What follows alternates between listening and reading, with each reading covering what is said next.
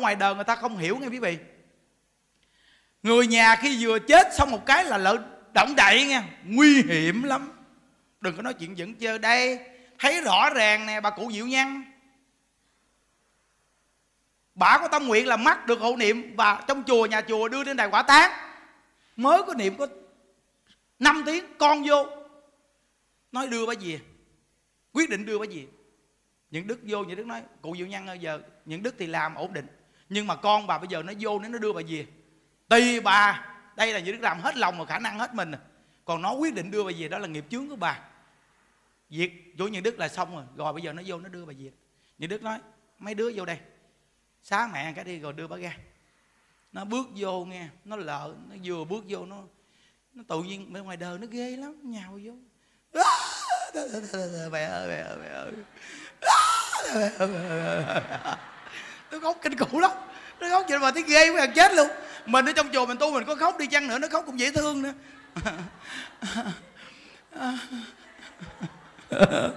À, mẹ ơi mẹ ơi. Con nói vậy nè.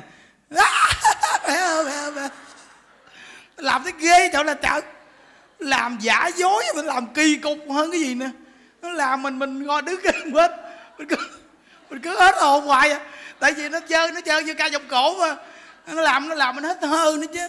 Nó giống như nó hết hơi, nó dùng sức á.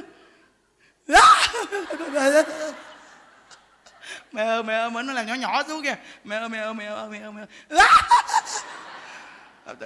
Thứ khóc gì mà khóc vô duyên cái bụng mình nó khóc gì kỳ cục quá chứ. Nó xạo, khóc kỳ cục. Cuối cùng quý vị biết? Nó vừa đưa cái mặt gần bả. Bả đang chết thì trong chùa mà thường nhắm mắt gì miệng khép nó làm vậy làm như cái linh thức bà chưa đi, mới 5 tiếng chưa đi. Bởi vì như đức nói nghe, chết ở ngoài đời mà mà đi, mà coi mà hai, ba tiếng đi liệm chầu kinh khủng lắm. Vì sao mà ngày xưa không lão vô tử ngài nói rằng là vì sao quằn ba ngày, để lại ba ngày là sao thì biết không? Vì thương người thân. Vì có những người ta chết rồi ta sống lại. Hồi dương sống lại. Nên thương người thân mà để vậy đó. Hiểu chưa? Bây giờ mình hai ba tiếng mình đi liệm đi rồi xong mình nói rằng là là bây giờ ngày tốt cho con cái sao tốt? Vậy bà ơi mình vì mình mà sao tốt được? Mình mình không có gì cha mẹ. Mình vì mình. Mình vì ngày tốt cho mình làm sao tốt? Mình nghĩ cho mình tốt rồi mình quên cha mẹ. Vì làm sao mình tốt? Cái này năm sáu tiếng hộ niệm nghe mà con nó vô nó khóc lóc gì đó quý vị. Tự nhiên bả quý vị biết không gì nè? À, là trời thấy ghê thiệt. Kinh khủng không? Bây giờ quý vị cứ ngồi quý vị, quý vị bây giờ nhìn những đức bình thường nghe. Quý vị là như là con những đức đi. Những đức là người chết đi. Mà con những đức nó lợn nó xạo nó khóc không? Những đức đang đang được hộ niệm đang nhắm mắt. Cũng uh, tơ, tơ, chết mặt tốt tương đối. Xong nó lợn nó khóc khóc khóc cái linh thức nó vẫn còn. Ai lại gia thức là cái thức thứ tám là tiềm thức của mình nó vẫn còn cái linh thức nó nằm ở trong cái lại gia thức đó. nó chưa đi hết thì vị biết rằng là nó làm gì, thì động đậy, người ta nói rằng là cái dương còn không đụng đi đụng đụng thân thể. Cái giường còn không được đụng vào mà. Đồ đạc cái người mới chết cũng không được đụng vào. Họ chấp, họ tham, họ nói lòng sang họ đỏ. Nên kỹ dữ lắm. Chứ đừng có nói còn ngồi hộ niệm là phải cách xa khoảng thước thước hai, ngồi xa vậy đó, chứ không được ngồi gan ngồi gan mà hơi thở thở với một cái thôi. Quý vị biết rằng khi mình sống như là bình thường, khi mình chết rồi, cái linh thức mình nó yếu lắm chỉ cần một cái tác động âm là một giống như một sấm sét vậy thổi cái như bão tố vậy đó. Hiểu chưa? Thì ba hồn chính biến nó nó nó nó, nó tản mát. Nó không có được lợi ích. Thì vị biết rằng người ta phải ngồi xa khoảng mét hai để ngồi niệm phật. Mà hộ niệm nó ngồi nghiêm túc chứ không phải ngồi mà. Hoặc là taxi chỗ là cháu cái này là kẹt lắm cái này là lỡ thì phải chịu thôi tại vì cơ thể thân tứ đại phải chịu. Chứ bây giờ đúng cái vô đó là quy tắc đó nghe còn ngứa là phải cố gắng chứ không có được mà gọi là không phải gì đâu. Vô hộ niệm mà gãi mà nghiêng qua nghiêng lại nó động cả cái cái, cái vàng của người ta đó. Cái linh thức nó rất yếu chỉ cần động một cái là động cái cơ thể họ liền động tới tâm thức liền. Nó kinh lắm chứ không có giỡn đâu trời. Mình nói là nghiêm túc vô hộ niệm đây là việc mà gọi là cái việc quan trọng của đời người hiểu chưa? Mình nghe mình phải nhớ mình phải kỹ cái vụ này nghe chưa?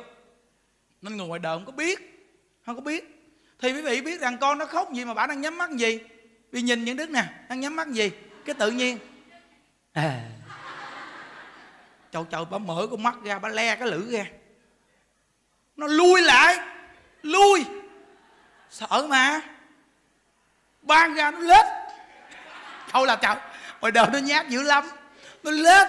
Nó đi không được nó lết không? Đi coi. Hồi đời khi ta nhát mà đời khi người ta nhát rồi là người ta gặp ma ta lết không đúng không? Đi không nổi. Chân cẳng cứng ngắc, miệng kêu không được. Thì quý vị biết là nó lết nó bò ra, nó lết ra. Thì đức hỏi cái gì? Cái gì? Nó nó nói, ú ú. Trời là trời. Mình tưởng đâu? Mình tưởng đâu chó dược đó là cái thứ gì? Kỳ cục. Nó lao ra, ú ú chị tuyết lần gà chị tuyết nói, cái gì? Cái gì mà lết dữ vậy? Anh nói, ui đu đu trời ơi, trời. Người biết. Như đức vô nghe, thấy bà mà chính mắt thấy rõ ràng luôn, con mắt bà mở vậy nè. Cái lưỡi bà nè. Trong bụng mình mình lo cho bà đó. Mà mình mà còn xanh mặt. Chứ đừng có nói chi con cái bà. Mình vô mình cũng thôi, mình cũng gán, cố gắng để mình cũng nhát phải gan gì đâu cũng nhát lắm. Thì nó thật sự mà cũng nhát chứ không phải không nhát. Mình sợ bà đây bà, mình mình lỡ mà, mà bà không vừa bụng bà đang tức con mà đi. Bà đang bà bay là bà cắn ngón tay mình cái chậu là chồng mình chết luôn. Mỗi khi mình lỡ gần mình lỡ gần mình kế bên ưa ưa dịnh dây đồ thương cái cụ mà thấy không? Mà bữa nay mình thấy bà le lử cái mình thấy bà đang săn sẵn sẵn hẳn con bà ở đây bà gọi là che dặn cá chém thớt sao bà chém mình sao? Mình đứng xa xa cách thước cái gì bắt cắn không trúng mình. Trộn thấy le cái lưỡi ra mình sợ mình đưa cái tay về bạn gì mà chụp cái tay cắn cái rồi. Này cái này kẹt dữ lắm. Nên từ nó nói vì thấy kinh khủng chưa? Xong mấy đứa con nghe ra ngoài xong rồi nó thôi thôi thôi, thôi vô vô. Đem bả về. Sẵn đà hù hù hù luôn đưa bả về. Đem bả về rồi. Lo cho bả đi ở đây là xong hết trơn rồi. Quý thầy làm xong hết rồi vô tự tặng liệm, tự liệm đồ hết đi nghe. Nó trời ơi, thầy thầy ơi thầy ơi. Lúc đó nó bị khang tiếng à tại vì nó làm cho nó bị bị ép tim. Sợ quá, lết ra ép tim. Vừa mình vừa nói câu đó xong, nó nói, trời ơi, thầy ơi thầy ơi thầy ơi, thầy giúp giúp con đứa thầy ơi thôi, con không có dám đưa mày con gì đó thầy ơi. Kinh khủng không? Xanh mặt, xanh mày bởi vì câu chuyện gì đức kể mà từ giá chắc cũng chục lần. Cái câu chuyện bà này có chục lần. Để cho tất cả các con cái đừng có nói xem thường cái chuyện này nghe chưa? Nó đụng đẩy vào là nó thật sự đang đẩy cha mẹ mình xuống tam đồ ác đạo đó chừng nó chuyện giỡn chơi. Nên nó phải niệm phật hộ niệm, ít gì cũng 12 tiếng, bèo gì cũng 8 tiếng. Được chưa? Bèo lắm là 8 tiếng. Được được 12 tiếng, chùa mình vớt 24 tiếng luôn. Cái này là đặc biệt lắm quý vị nó mình đi đến đây mình nghe gì vui vui vui vui, nhưng mà mình thấy rằng là nếu như mà không hiểu đó quý vị, thì một đời có người sao mà lơ là quá. Đời người sao lơ là quá. Đối với môn tịnh độ này, nó hỗ trợ mình lớn dữ lắm. Tại vì cuối cuộc đời cái niệm phật suốt cho mình. Ngoài tịnh độ thì khó lắm. Cũng chơi trội lắm quý vị. Ngoài tịnh độ cũng chơi trội lắm. Ừ. chỉ có niệm phật à là niệm hoài được thôi. Còn bây giờ ngoài tịnh độ lại bắt nguyên ngồi đi ngồi ngồi ngay cái xác. Ngồi tới 12 giờ khuya nghe gió thổi. Nó ớn lắm. Trời là trời, ngồi tới chưa có vô được mà. Chưa vô định mà bây giờ ngồi nó còn sợ chứ. Kêu ngồi mà giống như có người ta thì giống như thiền định. Nhưng mà thấy người ta đi hết dân, nghe gió thổi tự nhiên. Cũng rung thấy mồ đừng nói chuyện giỡn chơi mà không có dám ngồi bằng đêm đâu. Cái kiểu như nhát nhát, ngồi mình cứ nghĩ ai sau lưng mình. Ngồi chú rồi cái gì? Hiểu không? Nó kỳ cục vậy đó. Nên từ nơi đó chị có pháp môn niệm phật đó niệm âm âm âm, niệm hoài vậy đó. Niệm ngày này qua tháng nọ, niệm cũng được. Nó xây dòng cứ tiếng mấy tiếng mấy nó làm tới, nó cứ thay đổi, làm hoài. Cứ a với đà phật, a với đà phật, a với đà phật, a với đà phật, hoài vậy đó, cho mình. Nó, thì cái pháp này là cái pháp thù thắng. Nó lợi ích rất là lớn, sức ngoại hộp luôn sức ngoài hộp ghê thiệt. Không? Nó nó nói chứ thật sự mà nói á, những đức cái gì chứ nói là nó đơn giản. Mà trong cái cuộc sống mà những đức gặp rõ ràng, chia sẻ cho vị nghe. Rất là nhiều người chúng ta quý vị à trong cái cuộc đời này quý vị biết rằng mình lo cái chuyện mà về giàu sang quan trọng quá. Mà dành cái cái thời gian mà danh lợi nhiều lắm à. Có hơn nửa cuộc đời của người mình rồi.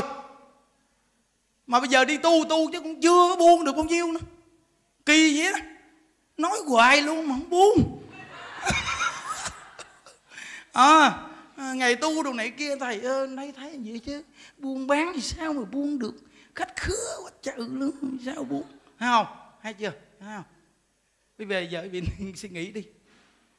Bây giờ cái chuyện tu hành mà không cố gắng mình nhìn đi mình bệnh có ai chia không? Tiền bạc chia những đức ở trong chùa thấy rõ ràng có nhiều bà cụ, ba, bốn đứa con. Bà cũng có sự nghiệp, bà chia của cải, chia nhà cho con, mỗi đứa một căn. Hoặc là của cải. Chia xong rồi nó nói câu gì nè? Ồ ồ ồ. Tôi thấy bà không có công bằng đó nghe. Bà nói, công bằng cái gì? Tao có nhiều, tao chia hết chân cho tụi bây giờ còn công bằng không? Công bằng gì nữa? Sao cái thằng kia bà chia cho nó cái căn nhà mặt tiền? Còn tôi bà cho cái nhà hẻm. Cái miếng đất kia là miếng đất tiền nhiều, bà cho tôi cái miếng đất á, nằm tuốt trong ờ, hốc cà tó bán khó muốn chết. Bà không công bằng. Bà gom tất cả nhà đất lại, bà bán hết trơn đi, bà chia tiền ra. Ai cũng bằng vậy chứ là công bằng. Chó là cha mình làm cực có của cải cho con mà con vẫn là không vừa lòng. Không vừa lòng với cái sự chia chác của mình luôn. Rồi xong ba bốn đứa con, không phải ai cũng như vậy mà gặp nhiều trường hợp này lắm nha quý vị. Ba bốn đứa con xong chia xong hết trơn, nói gì nè. Ví dụ như con trai thì còn con dâu, con gái thì còn con rể, nói anh hai giàu được chia của nhiều. Sao không nuôi mẹ? Mình chia được có bao nhiêu đâu mà nuôi.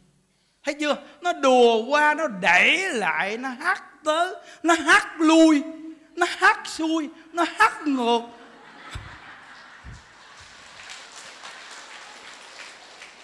Già rồi đúng là thê thảm Thấy không? Nó, ngày xưa thì còn con con cò này còn bay đi tìm mồi đồ bay về úm con đồ. Đem mồi về túc túc túc túc túc túc túc túc túc cho con. Con, mở miệng ra con. Hả miệng? Mồi nè. Vậy mà bây giờ nó kiếm mồi được rồi. Bây giờ con cò già này bay không còn nổi nữa. Nó đá cò. Đá con cò ở đây, nó đá con cò bên kia, nó đá con cò qua nọ, nó đá trước, đá sau. Cuối cùng nó đá vào chùa hộ pháp. Kinh khủng không? Kìa, mới có ông bà dưới mới nhận kìa con bà dưới mới nhận kìa, mấy cô biết mà. Cái bà già mới cạo đầu tròn tròn, bữa nay mặt hồng hào đó. Bị hổm là nó đưa vô xong nó để luôn, giấy chứng minh quá hạn luôn. Rồi bây giờ giấy tờ biết đâu đâu. Xong bà mới vô, bà không nói gì, mà ở vài bữa mấy cô ngồi nói chuyện, bà bà nói gì nè? Ôi ơi, nó mà không đưa bà vô chùa thì nó giết bà chết réo rồi, cổ mới cung ôi là trời đúng là thê thảm thiệt đem vô bỏ luôn đi mất tiêu luôn không nói một tiếng. Nó có không? Có đó không phải ít đâu nghe. Không phải là bà già nào cũng là, là, phát tâm vô chùa tu đâu nghe quý vị. Cái người mà thật sự phát tâm vô chùa tu mà là giác ngộ ít lắm. Cái người mà hoàn cảnh đi vô chùa tu nhiều lắm. Nếu mà không có cái buổi giảng nhân đức mà mà mà, mà bào mòn cái tâm á là mấy cụ buồn khóc suốt à. Đây nuôi người già nè 11, 12 giờ khuya tôi đi lắm nè. Tôi là chơi giờ linh mà một mười hai giờ khuya tôi đi tôi coi tình hình coi làm sao. Tôi đi. khi mà đi mà mình mình mình mình, mình quá trang luôn. Quấn khăn đội cái nón chùm lại. Còn hai mắt. Mình đi mình đi vòng vòng mình coi thấy coi mấy bà cụ ngủ ngay sao. Có khi mình đi lủi lủi lủi mình thấy một bà già đen thui ngồi ngay cái gốc cây. Mình mình cũng sợ mình tưởng nó ma. Mình đi đến gần gần mình coi thử là ai mình tự nhiên mình mình mình vừa đến gặp mình nghe mới làm nè. Trời trời, cái gì? Á thường ma mình đi mưa khóc thì biết không? Mình nói chứ không lẽ là ma trời sao kỳ cục. Mình cũng, mình sợ nhưng mà mình ưa kiểu mà tò mò, mình coi cái cái ma thiệt ma giả mình lỡ gần mình nghe. Con ơi sao đành lòng bỏ mẹ với con ơi đà, người ta người ta còn sống để mình ngồi kế bên. Mình ngồi cụ bà nói hả ai? Thì mình quá cha quá, đâu thấy mặt mày, đâu sợ quá. Mình lỡ mình vỗ vai bắt cái nói cụ là á ai? Nói, thầy nè, con. Trời ơi, đến nói chuyện với bà thì nói ra hỏi han cái gì? Tại sao mình cứ thuyết pháp hoài cũng được? Là cái tính này, đức nó thích hỏi chuyện. Nhiều chuyện, nhiều điều nó hỏi nó hỏi nên nó giải tỏa được cho người ta. Hỏi này kia rồi hỏi rồi xong. Giải tỏa, chỉ dẫn người ta. Rồi xong bà mới đưa bà về phòng cho bà ngủ. Rồi bắt đầu là sáng đem câu chuyện đó kể cho mấy bà già khác. Nó từng câu chuyện câu chuyện mà kể ra bắt đầu con người ta ở được ở trong chùa. Nó thông cái tâm, nó cởi mở cái tâm, nó được ở trong chùa. Chọn cái này là cái trường hợp này là như đức gặp nhiều lắm. Không phải là cái chuyện mà giác ngộ đi vô chùa tu đâu quý vị ơi. Nhiều cái là hoàn cảnh nhiều lắm mười người là nó nằm chiếm ưu thế bảy người hoàn cảnh nè mới đi vô chùa tu. À, nên nó cái người thế gian người ta nghĩ mình đi tu là giống như hết thời quý vị. Hơi thảm á. Ừ đa phần luôn ta nghĩ đi tu là chắc là đây, đây, đây cái dạng cái dạng ăn không ngồi rồi làm không ra trò chống gì. Đó. Nên thí dụ như mình có con cái mà nó không hiểu đạo đó quý vị có khi con cái nó nói ồ mẹ mẹ sao con thấy mẹ ngộ với mẹ? Sao mà mẹ có tiền bạc mẹ không xài đi, sao mà mẹ cầm tiền lên? Mẹ mẹ mẹ đưa cho mấy ông thầy. Con thấy mấy ông trẻ rồi, sao mà mấy ông không làm ăn cái gì chứ mẹ? Không làm ăn cái gì chứ mà mà sao mẹ đem tiền đưa cho mấy ông chi vậy mẹ? Nói vậy đó. À nó có một lần, ngồi kế bên luôn. Xong cái đầu, bà mẹ bà cúng dường. Thằng con kế bên nói nè, thầy thầy, con hỏi thầy này, thầy đừng có buồn nha thầy. Đừng nói đâu có gì đâu, buồn hỏi đại đi à, giờ con thấy thầy còn khỏe quá mà sao mà mà thầy không la làm ăn gì hết trơn vậy thầy?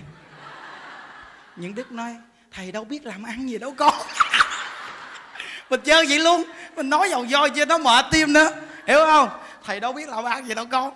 Vô chùa thì tụng kinh gõ mỏ thôi làm ăn gì đâu con? Nhưng mà con nhớ có những việc thầy làm ăn con không làm được đâu. Hiểu không? Cuộc đời con người con ơi. Có nghĩa là cuộc đời con người là có những công việc á mà người ta làm được mà con làm không được. Mà có những việc mà con làm được mà thầy làm không được. Nên chúng ta trang trải nhau mà sống. Cũng như cái chuyện đơn giản thôi. Mẹ con đi vô đây ở được, mà mẹ con đâu có chịu ở với con. Là chuyện này thầy làm được mà con làm không được. Đúng không? Đó. Mình á, mình hạ cấp nhưng mà mình dãy một phát nó rớt. Hạ cấp mà dãy một phát rớt luôn rồi bây giờ con ở nhà con làm ăn cái gì? Rồi con nuôi được mấy bà mẹ? Nó thầy, thầy này chơi sốc á à. hỏi mình làm ăn cái gì? Nó làm giám đốc chứ gì? Nó nói, ờ, gì làm giám đốc mà nuôi được mấy bà mẹ. Im gu những đức nói nuôi một bà đúng không? Nếu mà ngon ngon thì được hai còn ngon nữa thì được ba. Nói làm gì mà mẹ nhiều dữ vậy thầy? Nói thì một bà mẹ đầu tiên cứ về một bà mẹ thứ hai là chôn, một bà mẹ thứ ba là thêm nữa. Hiểu không? Con nuôi ba bà mẹ đó có chừng con nằm chèo queo đó con. Một vợ thì nằm giường lèo, hai vợ nằm chèo queo, ba vợ xuống chuồng heo mà nằm. Đúng không? Bây giờ con nói thầy không có biết làm cái gì, con vô coi bao nhiêu bà già thầy nuôi, bao nhiêu bà mẹ. Còn con con làm ngon quá, con nuôi được mấy bà mẹ nên cái thông điệp này gỡ đến cho tất cả những người hữu duyên nghe. Làm ăn được có tiền nhiều, nhưng hãy nuôi một bà mẹ mình cho thật tốt. Nhớ. Thí dụ như bây giờ quý thầy quý vị nhìn họ không làm ăn gì được cái gì. Quý vị có tụng được hồi kinh như họ không? Có tụng một bài chú như họ có khi gia đình có người mắc quý vị mờ họ đến tụng hồi kinh đúng không? Quý vị phải đi mờ đó nghe.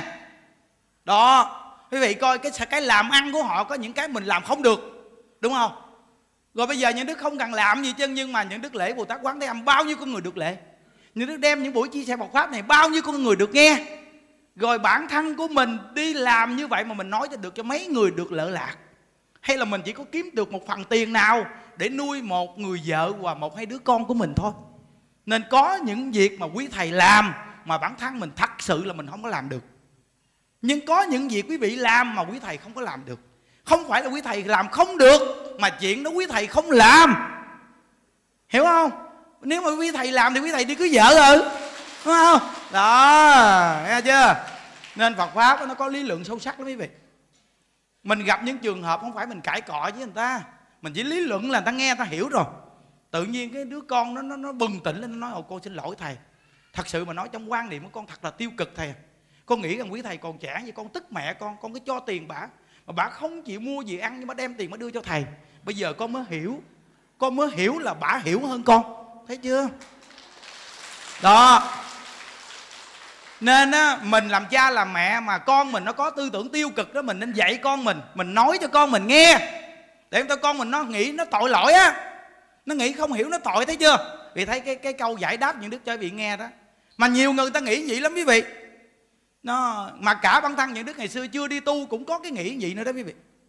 Sau này càng đi tu mình mới hiểu ra, thì ra là con người mỗi người nó có phước báo quý vị ơi.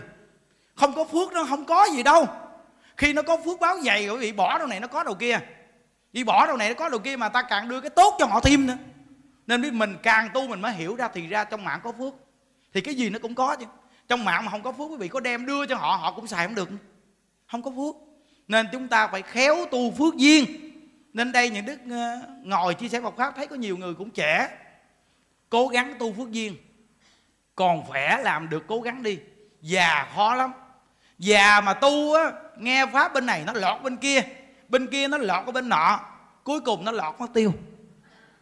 À, còn mình còn trẻ mình nghe mình tồn động là mình hiểu được mình duy trì được nên nó lợi ích rất là lớn cho cuộc đời của mình.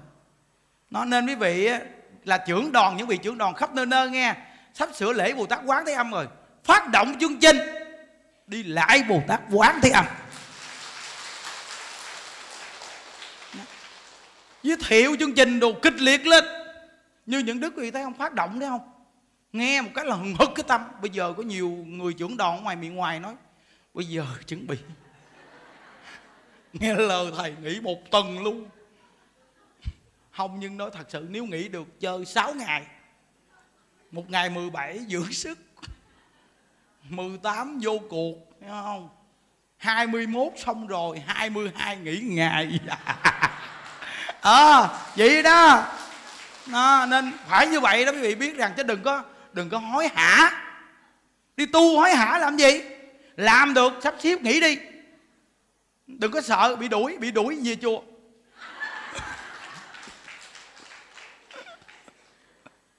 Bây giờ giờ đức nói với vị ghe kìa. Bây giờ mà nói chồng mà nói lạo bạn nói ông không nói nữa nha ông nói nữa là tôi tính á. Từ từ mà tính cái gì? Mà tính cái gì? Tôi bây giờ tôi nói thật sự với ông á với tuổi bốn mấy này tôi cảm thấy cuộc đời của tôi cũng ngao ngán như lắm ông ơi. Chứ tiền bạc tiền bạc hoài tôi thấy mệt mỏi ghê.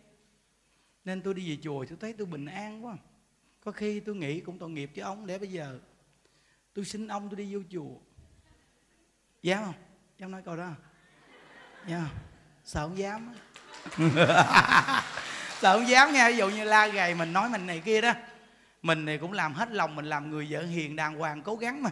Cứ nói này nói kia mình hoài, khó chịu quá. Có những khi mình không phải là câm miệng hoài được. Có những cái mình không phải hổn, nhưng mà nói nhẹ nhàng thôi. Tôi thấy cuộc đời tôi sao khổ quá mà từ khi có gia đình tới bây giờ tôi thấy khổ nhiều lắm. Nên bây giờ tôi biết Phật pháp rồi, hình như là, hình như là đối với tôi là cái nợ đời nó sắp hết ông trời trời mà nói gì hả? Mình nói nhẹ nhẹ mà nó đi sâu rồi nó thấm, ghê lắm, hiểu chưa? Nếu mà ông không thương tôi nữa, thì thôi ông để tôi đi vô chùa ở luôn được không? Nói một câu, tại vì cái câu này phải tính cho kỹ nghe. Một là nó nói ừ ừ là đi liền, tại vì mình mình muốn luôn rồi mà. Chứ đừng có dọ nghe. Dọ mà nó nói ừ mà ở lại là quê lắm. Từ đó sao nó dằn vặt cho mà biết. Nên câu này là phải suy nghĩ cho thật kỹ. Một là nó cho đi đi luôn. Hai là nó kêu ở lại thì từ đây về sau, anh phải hỗ trợ em cái chuyện tu hành. Em sẽ làm hết lòng chuyện gia đình, làm vợ đàng hoàng. Em đi không mắc một miếng thịt nào đâu, đừng có sợ. Em càng đi chùa mà thịt nó càng nhiều mà. Đúng không? Nên từ nơi đó mà anh cản cái gì? Em càng đi chùa em càng hiền mà. Mấy bà hiền đi. Mấy bà đi chùa mấy bà càng đi càng hiền đi. Thì người ta tin tưởng tôi. Còn nếu bây giờ, mấy bà đi chùa về mấy bà hung dữ với chồng. Nó nói, ông thầy đức dạy cái gì? Dạy cái gì mà bà về bà hung dữ với tôi, bà hổ với tôi?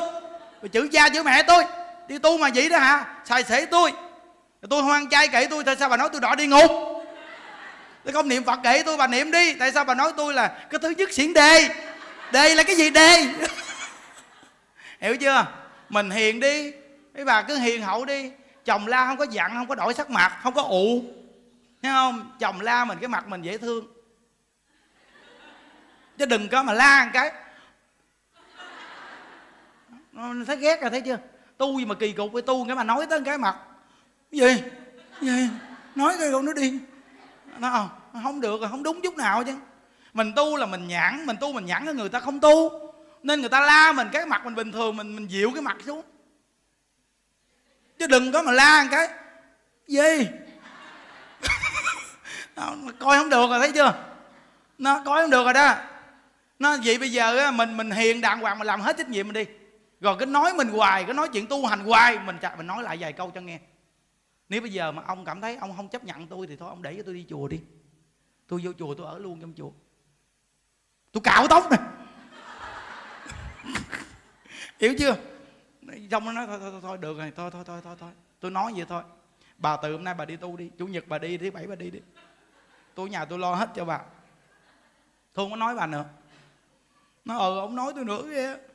Ông nói nữa tôi cạo đầu thiệt hiểu chưa? Nó, nhưng mà phải tính trước nghe nếu mà nó nói nếu mà chồng nó nói nè được bà đi đi. Thì lúc đó nói chờ chờ không lẽ ông kêu tôi đi thiệt chứ đó. Này thất bại rồi thấy chưa? Thất bại chị đức nói hai con đường là cho cũng được mà ở nhà cũng ngon. Tính hai con đường này tính luôn. Nếu gan dằn vặt hoài nói nhẹ nhàng mấy câu. À, nếu không ông buông tay tôi đi ông cho tôi đi tu luôn đi tôi nói thiệt tôi thích tu nó tôi đi vô chùa tôi tu chứ tôi không đi theo thằng nào đâu, đừng có sợ. Hiểu chưa? Nó, vậy đó mà nếu mà kêu ở lại, kêu ở lại thì ông phải có cái cái cái cái cái việc mà ông phải chấp nhận cho tôi để tu hành được niệm phật đồ, cái này kia, tôi đi chùa rồi ông phải cho phép tôi. Còn những ngày tôi ở nhà tôi hết lòng lo con cái gia đình, tôi làm vợ tròn vẹn hết trơn, cái gì tôi cũng tròn vẹn hết trơn, tôi chiều hết.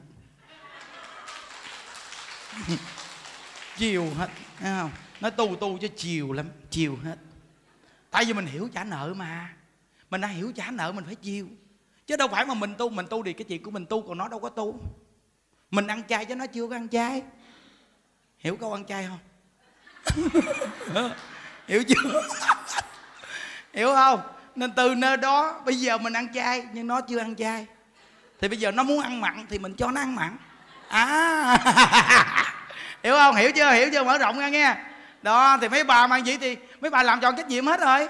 Đối với chuyện làm vợ, mấy bà tròn trách nhiệm, tròn trách nhiệm hết chưa vậy những đức nhắc nhở gì đó, quý vị coi á, đối với cái chuyện gia đình quý vị quý vị về áp dụng học pháp vào gia đình quý vị, rất là đặc biệt. Chúng ta bây giờ biết tu rồi, tin hết, hoàn toàn nhân quả hết. Đến với cái cuộc đời này, thật sự mà nói, nó vô thường lắm, nó đi bất tử lắm. Nên chúng ta sống làm sao mà ngày nào cũng vui đi quý vị. Đừng có buồn nghe, đừng có buồn để sống nghe. À nó dù gặp nhau chưa có cho nhau một cắt gì đi chăng nữa, nhưng mà đừng có buồn để sống. Gặp nhau một cái, gặp nhau một cái, chào thầy, hay gì đạo phật à chào con, hay gì đạo phật vậy cũng cảm thấy thích thú rồi hiểu không quý vị? Gặp nhau cười một cái là thấy hay rồi. Nó, chứ đừng có mà kiểu mà gặp nhau mà buồn khổ, chán nản. Này kia, đã nghe hết trơn rồi, đừng có buồn nữa. Thiếu nợ thì trả đi. Than van làm gì? Hiểu không?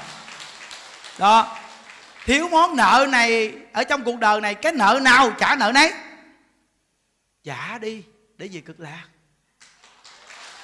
À, trả đi để về cực lạc. Không trả nợ ở đây thì trả tam đồ ác đạo. Không trả ở đây thì trả tam đồ ác đạo. Mà trả ở đây nó nhẹ một ký. Trả tam đồ ác đạo nó nặng á ngàn ngàn ngàn ngàn ngàn ngàn ngàn ngàn ngàn ngàn ký. Trời ơi, cái câu này không giải thích nổi cái chuyện ở trong tam đồ ác đạo nó khổ đâu. Nên quý vị tụng trong kinh địa tạng rồi quý vị thấy không? Mà nói đến cái việc mà gọi là địa ngục là cái nghĩa là khóc, không chịu nổi. Giống như vua lý thế văn mà ông đọa địa ngục mà hỏi địa ngục sao là ông khóc không? Quay quay. Khổ quá. Quá khổ à hiểu chưa? Nên bây giờ mình ở đây mà bị chồng đánh chồng chửi một chút. Nhẹ sơn. Biết tu rồi chả vèo làm đi. Ngày xưa mà nói đụng tới một cái là kênh liền. Bây giờ chữ một phát. Phun nước miếng vô mặt lấy nước miếng rửa mặt. Thử coi sao. Mình muốn giảng sanh mà. Muốn giảng sanh mà quýnh cái tát vô mặt. Ai với đạo phật? Tát vô mặt. Ai với đạo phật? Xong đó, bà làm gì gì cái tiếng kia, mà niệm phật hoài, quýnh mà bà niệm phật hoài. Muốn giảng sanh mà. Thấy không? Thì tôi muốn giảng sanh mà, chứ làm gì? Xong vừa nói muốn giảng sanh bóp muốn giảng sanh mà. Trời ơi quý vị mà như vậy thì sao? Những đức nó thật sự chứ đánh không nổi nữa đâu quý vị à. Đánh không nổi nữa. Bây giờ đem cái mạng này trả luôn. Xả cái mạng luôn để về cực lạc luôn. Dám không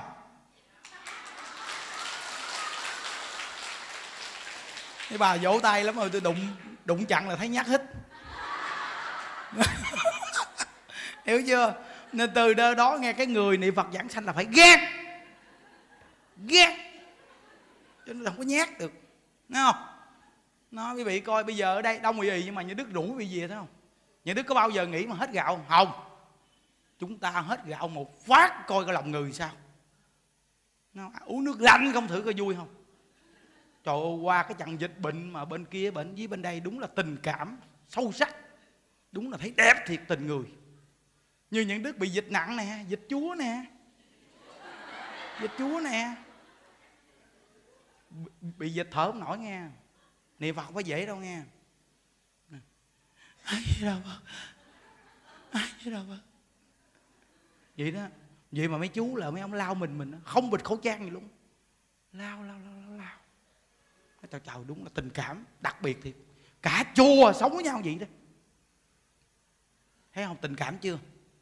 Chứ gặp mà gọi là gọi là nó nó không có tình cảm chân thật quý vị đến gần mình cũng không dám. Mình bước đến gần gì vậy? Dịch. Dịch xích ra. Xích ra. Thấy không? Chứ làm gì có chuyện lỡ lao mình. Không bịt khẩu trang luôn. Quý vị thấy cái tình cảm này sâu sắc không? Còn bây giờ quý vị kiểm qua kiểm qua đi. Kiểm qua trong cuộc đời đi. Gặp những trường hợp gì đi có những bà già nói con ơi con mẹ muốn ở nhà niệm phật. Mẹ không có muốn đi vô trong đó bị cách ly đâu con ơi con ơi. Vậy mà mấy đứa, đứa, đứa, đứa con không bà phải đi. Bà ở đây đã lấy cả nhà này chết hả? Mà bà mẹ năn nỉ năn nỉ được có nhà niệm phật. Còn cả chùa mình thí nghiệm rồi nghe quý vị hoàn toàn niệm phật. Chỗ tình cảm này thật sự mà nói nó trong cái cuộc đời này chết cũng vừa bụng. Thật sự luôn, vừa bụng. Vì thấy trong nguyên cái mùa dịch, nhiều phật tử ở đây đã từng vô chùa, ở tu trong dịp mùa dịch mà. Chị thấy không? Rõ ràng ở trong chùa mà. Phải quý vị thấy sống nhau không? Có dính dịch, có dính bệnh, nhưng mà sao? Hết trơn. Hết trơn bệnh. Như bản thân như đức là không có chích vaccine gì nè. Nên có cô kia của nó công nhận thầy may mắn, thấy ghê. Hỏi sao may mắn? Bệnh mà may mắn, nói thầy không chích vaccine nói sao à? Nhiều người chích bây giờ quên tùm lum. Thầy nhớ dai ác đạn nó tạo là tạo. Đúng là trong cái rủi có cái mai. Không biết sao mình gan mình núp. Kêu chích nó. Ôi, không đi. Cuối cùng qua chân đâu có chích mũi nào. Bây giờ cái đầu óc quá thông minh luôn kỳ cục ghê chị ngồi nhỏ mới đẻ rồi nhớ hết trơn chậu là trời sao mà? Ủa quý vị biết tự nhiên sao nó nhớ là hết trơn? Quý vị ơi chuyện ngày xưa thì sao sao? Cái gì cái gì nó nhớ hết trơn? Lên chia sẻ Phật pháp là nó nhớ sạch cái gì mình nhìn qua đọc qua nhớ. Chắc là cái đầu này bây giờ đang phát triển. Không bị thuốc này thuốc kia chồng quý vị hiểu chưa?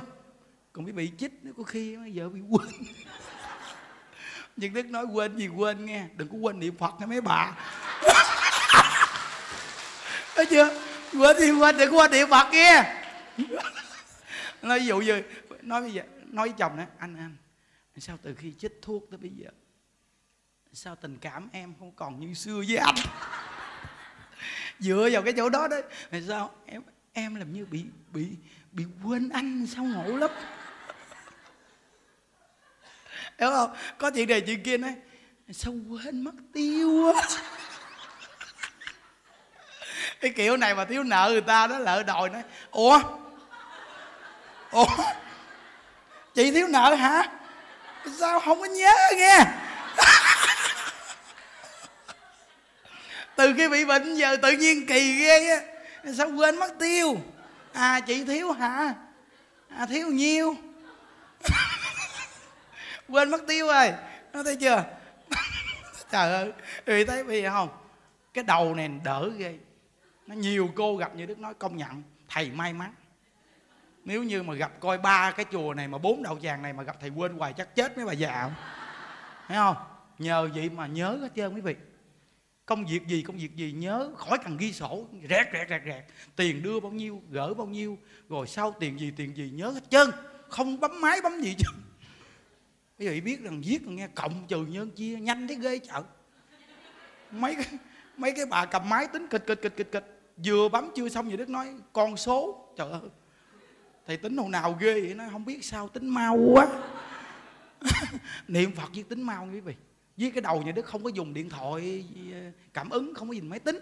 Thì cái đầu nhà đức phải tính chứ, hiểu không? Rồi thiết pháp phải tính. Tính thiết pháp kịch liệt ngày ba bốn buổi cái đầu óc viết nó giống giống như nó nó, nó được xông ốp câu ai với đạo phật quý vị. Nên giảng hoài. Mà ta ngồi được nghe. Nó.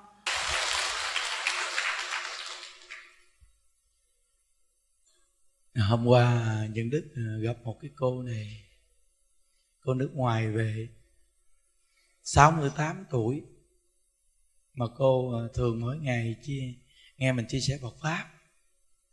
Cô ờ, nói cô sống vui lắm. Và con người sống giống như không có những cái áp lực gì nặng nề để trong tâm. Nhìn cô à, 68 tuổi mà mình nghĩ à, chắc chừng à, 48 đồ này kia tuổi, tuổi này. trẻ vậy đó quý vị? Nhìn không đón được tuổi đâu trẻ lắm. À. thì ra là một con người mà sống không có bị cái áp lực nặng nề vì vật chất. Rồi ờ, mình không có buồn giận hay để trong tâm. Nói chuyện thì rất là hịch hạt rất là tự nhiên nha. Mà một người vậy mình gần gũi mình nói chuyện mình cũng thích nữa. À, nói chuyện là thấy thích liền. Tại vì họ nói chuyện rất là hịch hạt tự nhiên lắm. Muốn nói gì cái nói câu tự nhiên lắm không có kiểu như mà uh, đón trước đón sau gì, nó nó mệt mỏi. À. tự nhiên những đức mà nói chuyện những người gì những đức cũng thích. Thích nói chuyện những người mà đừng có mà đón trước đón sau, rồi nói mà kiểu như mà dò này, dò nọ. Mệt lắm. Cái gì gặp à, càng cần nói thì cứ nói hoạch tẹt rõ ràng phức cái rồi. Mất công dòng do tam quắc nó tốn xăng. Em mới biết đó không? Cái cuộc sống bây giờ nó đã bận biệu lắm. Tìm cơm ăn áo bận đã khó khăn mà cứ dòng do tâm quắc chỉ cho nó mệt. Cái gì cần thiết thì vô đề thẳng đi được không được rồi thôi. Nó khỏi mất thời gian đúng không? Nên từ nơi đó mà mình gặp những người như vậy mình thấy người ta trẻ lắm nghe, rất là trẻ. Vì thì những người chúng ta muốn mình à, thời gian trẻ lâu thì mình phải có cái tâm gọi là vui quan hệ. Đi đâu cũng cảm thấy vừa lòng vừa ý đi đừng có mang cái tâm không vừa lòng, không vừa ý. Hoặc là buồn ai cái để trong tâm cứ dằn vặt mình hoài. Buồn người ta là dằn vặt mình, hiểu chưa? Nên cái đại học này mới là Phật pháp áp dụng trong cuộc sống nhân sinh. Thì giờ Phật pháp dạy là dạy con người trong cái cuộc sống này. Trong mỗi một cương vị, mỗi một công việc đều Phật pháp áp dụng vào. Nếu như áp dụng Phật pháp vào thì nó thông được cái tâm nó giải mã những cái sự buồn phiền, khó chịu. Và hiểu sâu về định lực nhân quả này, không có trách người làm gì. Tại mình biết rằng mình gieo cái nhân gì, mình chịu quả báo gì, bây giờ trách trách ai cái gì bây giờ? Nên tất cả chúng ta đang khỏe, sôi sỏi như tự nhiên bệnh bệnh à. chúng ta nói sao kỳ, ông trời sao kỳ á. Sao tự nhiên tôi đang khỏe là bệnh? Rồi có những người mình đang khỏe, tự nhiên đang khỏe cũng chết chết à mà nói sao, kỳ cục con người sao tự nhiên mà chết thì chết, mà trẻ gì mà chết, ông trời sao, ông kỳ cục ấy? không có mắt hay sao mà tự nhiên người ta đang sống khỏe gì tự nhiên chết? Nhưng mà mình hiểu về định luật nhân quả thì mình tin con người nó có số mạng quý vị. Có những người, con người nó số mạng đến rồi quý vị nhìn họ rất khỏe, nhưng mà tự nhiên ngủ đêm chết. Hoặc là rất khỏe, đang đi đi vậy, dấp té, đụng cái đầu vào cái lưu cái bụp, chết queo còn có những người mà thọ mạng chưa hết xe tông cái rầm rớt vô hàng rào dội ra rớt vô cái cây dội ngược rớt xuống sông cái chùm. Lội lên đi. Bình thường không chết đâu gì chứ. Đó là thọ mạng chưa hết thấy không? Thọ mạng chưa hết sao chết? Còn khi thọ mạng nó hết rồi nó chết kỳ cục mình thấy mà trong cái cuộc đời này, này nhiều người chúng ta thấy rõ ràng mà có những người mà bệnh bệnh nặng thấy ghê mà không chết là không. Còn có những người bệnh nhẹ sơn mà chết. Có những người nổi cái một chút xíu vậy đó. Thấy bình thường tự nhiên chết. Vậy coi. Như ngày xưa những đức à, có ông anh thứ hai. Ông nổi mùng một chút xíu à. Ngay cái cổ này chút xíu à. Cái đưa xuống bệnh viện, cái người ta thấy à, một cái chút xíu chứ không sao đâu. Mà tự nhiên người ta lấy ngay ông ta mổ thí nghiệm. Ngộ ghê. Bao nhiêu con người không mổ thí nghiệm, mổ ngay cái ông này lấy ông cả mổ thí nghiệm. Tự nhiên ngay cái cái ca bệnh ông này ta lấy ta mổ thí nghiệm. Mà ngay cái mục ổng là cái mục độc. Cái kéo chứ cần dao chứ cần đụng nhẹ vô cái thôi là bắt đầu nó nó phát triển rất là mau. Thì vì biết rằng là phạm nhẹ vô cái thôi. Một tháng rưỡi sau từ cái mục nhỏ bằng ngón tay út vì mà nó bự bị lớn nè. Nó bự bị lớn luôn. Rồi bắt đầu là nó rút cơ thể của anh từ ở dưới, nó rút lên hết lên trên đây nó càng ngày bự to to to ra. Rồi người nhìn như là người gì ấy, kỳ cục lắm. Rồi đi đến cái chết luôn. Mà từ cái một mụn nhỏ xíu thôi mà thành cái gì đó. Nên quý vị thấy trong cái cuộc đời này nó bất chợt đúng không nên chúng ta đã hiểu định lực nhân quả chúng ta không có khổ với trong cái cuộc đời này nữa. Bây giờ chúng ta khỏe chúng ta cứ sống với khỏe chúng ta bệnh chúng ta sống với bệnh. Chúng ta đẹp chúng ta sống với đẹp chúng ta xấu chúng ta sống với cái xấu. Chúng ta được chồng thương yêu thì sống với chồng thương yêu còn chúng ta bị chồng đánh thì sống với cái kiểu chồng đánh. Còn chồng bỏ thì sống với kiểu chồng bỏ. Hiểu không? Còn không có chồng thì sống theo kiểu không có chồng. Kiểu có chồng là kiểu gì? Kiểu có chồng là cái kiểu sống tự do. Hiểu không? Mình muốn à, đi chùa thì đi chùa. Mình muốn đi tu thì đi tu. Hiểu không? Mình muốn đi chơi thì đi chơi. Không có chồng mà. Hiểu không? Có ai ràng buộc quý vị đâu vị là người quyết định hiểu không? Không có chồng. Không có con. Thì quá tự tại. Nhưng mà không nghe được Phật pháp đó, thì không có chồng không có con thì cảm thấy cô đơn. Buồn cô đơn và tức tối khó chịu bực bội. Nó nên nếu mà cái người mà không chồng không con mà họ nghe Phật pháp họ dễ tính lắm á. Họ dễ tính và họ thấy họ là người giống như không có nợ nần đàn ông. Còn nếu như mà mình mà sống với cái cái cái, cái xã hội người ta không hiểu á mình không có chồng không có con người ta nói mình là thứ ác ôn nó nói là cây độc không trái mà gái độc không con. Vì mấy bà sư cô chắc độc lắm.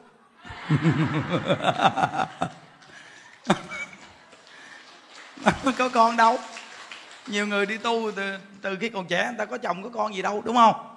Nên con người người ta nó không có nợ đàn ông nó không có nợ con cái. Chứ không phải là độc.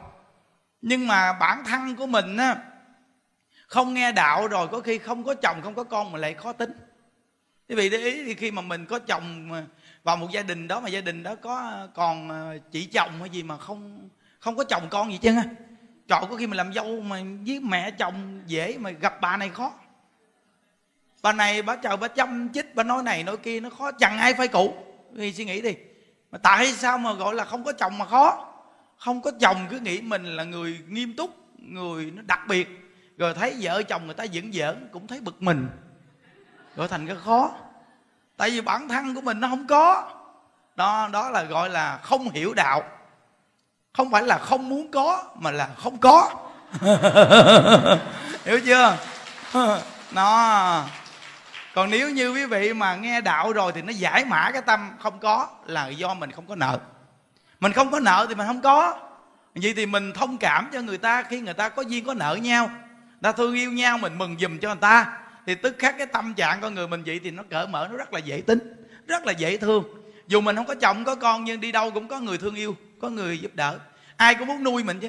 Còn mình chắn ờ, khó khăn còn hơn cái gì nữa. Thì bây giờ ai đâu mà chịu nuôi mình.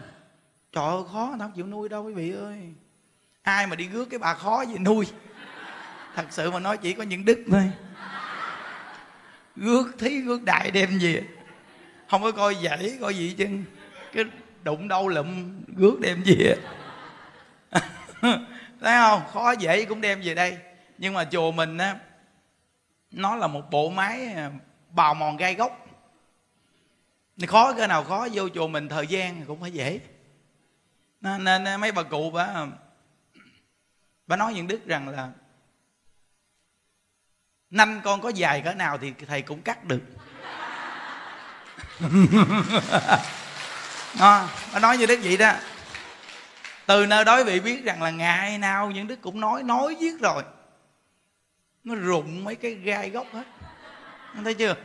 Nói hoài bào cái bào hoài bào mày xuyên mà. Ngày nào cũng nói lúc thì nói mạnh lúc thì nói nhẹ lúc thì vuốt ve lúc thì nói giống như xúc động xúc Ờ, xúc cảm trong lòng mình, trời nói đủ cách. Vậy mà viết từ từ rồi nó chuyển hóa cái nghiệp của người ta. Nó giống như bây giờ, quý vị coi, sắp sửa tới lễ viếng quan âm, buổi giảng nào nhìn nó cũng nhắc thấy chưa? Làm cho người ta mà có nhiều người nói rằng là thật sự, chứ thầy con bận con không đi được luôn. Nhưng mà thầy nói viết rồi, con phải tìm mọi cách để đi. Đó, không phải đơn giản nghe à. Thì mình hiểu rồi mình hiểu cái phàm phu mình là chúng ta phải cần nỉ non phải cần nhắc nhở họ mỗi ngày. Nên có người hỏi nhân đức rằng là nghe pháp và niệm phật điểm nào quan trọng?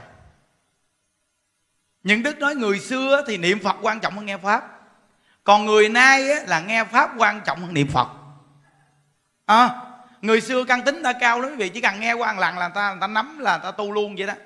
Người ta không cần nghe nhiều đâu là người ta tu luôn vậy đó kiên nhẫn lắm nhưng người bây giờ thì chúng ta rất dễ dao động. Chúng ta lang thang, tứ tung lang thang. Nên phải cần khuôn họ, nhắc họ suốt. Nên những đức nói bây giờ nghe pháp quan trọng hơn niệm phật. Vì khi nghe pháp nó hưng khởi cái tâm niệm phật, thì niệm phật nó không có bỏ cuộc. Còn nếu như mà không nghe pháp, niệm phật viết nó nhạt nhẽo, mà nhạt nhẽo viết rồi chán, bỏ niệm phật luôn. Nên cái việc nghe pháp cực kỳ quan trọng. Cái việc mà bổ túc cho cái người ta tu, khuyên người niệm phật là đang khuyên mình niệm phật. Việc này quan trọng dữ lắm nó nên á, ngày 18 tháng 2 lễ viếng quan âm là ngay đây nè. Chùa mới này chúng ta tổ chức là bữa đầu tiên đó, ngày 18 đó. Thì giờ này chúng ta cũng chia sẻ Phật pháp bình thường gì nè quý vị. Và chùa mình lễ viếng quan âm bây giờ là đông đông dữ lắm. Nên từ nơi đó cái thời khóa buổi sáng chúng ta cũng khó lễ Phật được lắm. Nên những đức cũng lấy cái buổi sáng niệm địa chung xong chia sẻ Phật pháp một chút. Những đức nghĩ rằng con người rất đông về chùa nên mình nhắc người ta những cái căn bản quan trọng nhất khi người ta vô chùa. Tại vì nhiều người trưởng đoàn người ta dẫn người mới đi nữa. Mình nhắc người ta làm sao mà mình kích thích người ta mà. Người ta đi về chùa mà người ta có một số quy tắc mà người ta hiểu. Để còn người ta tu người ta được sự lợi ích. Chứ bây giờ kêu lên lễ phật họ lễ mà họ không biết cái gì á.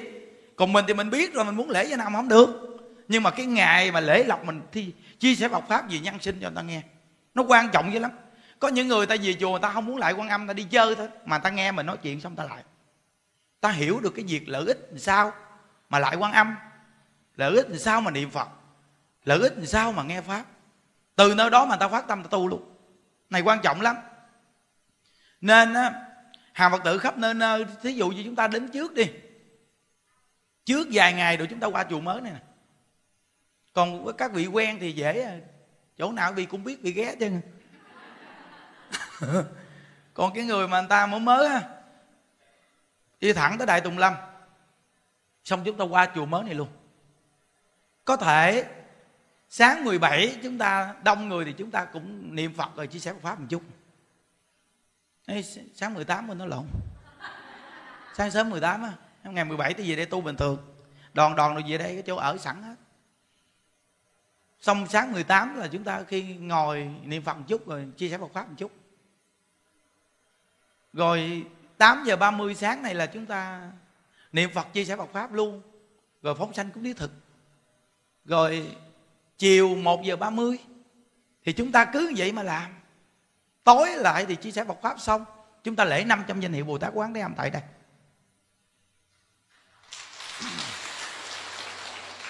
Đó là ngày 18 nghe, nguyên ngày luôn ở đây á. Mấy lần trước chúng ta tổ chức là cả ngày toàn là bên kia, con có chỉ có buổi tối đi lại quan âm là qua bên điểm bên đây. Còn bây giờ nhà nước chia ra hết biết chi không quý vị. Vì ban tổ chức phải cho họ làm điều. Nếu như mà làm bên hộ pháp không thì chỉ có bên hộ pháp làm việc. Cực, cực lực quá. Làm việc đuối quá. Làm xong rồi qua lễ. Nằm le lử. Cậu nó mệt lắm quý vị ô nhiều cô mình bây giờ bên đó đứa nào bữa đấy nó mập như ờ, liên nhẫn mà bây giờ nó 79 gái 79 kg vì nghĩ mấy cô mình giờ là gì năm dạng bảy chục nhiều lắm. Thấy không? nó giống như liên nhẫn là 79 liên đình là 75 72 73 bảy tám đứa.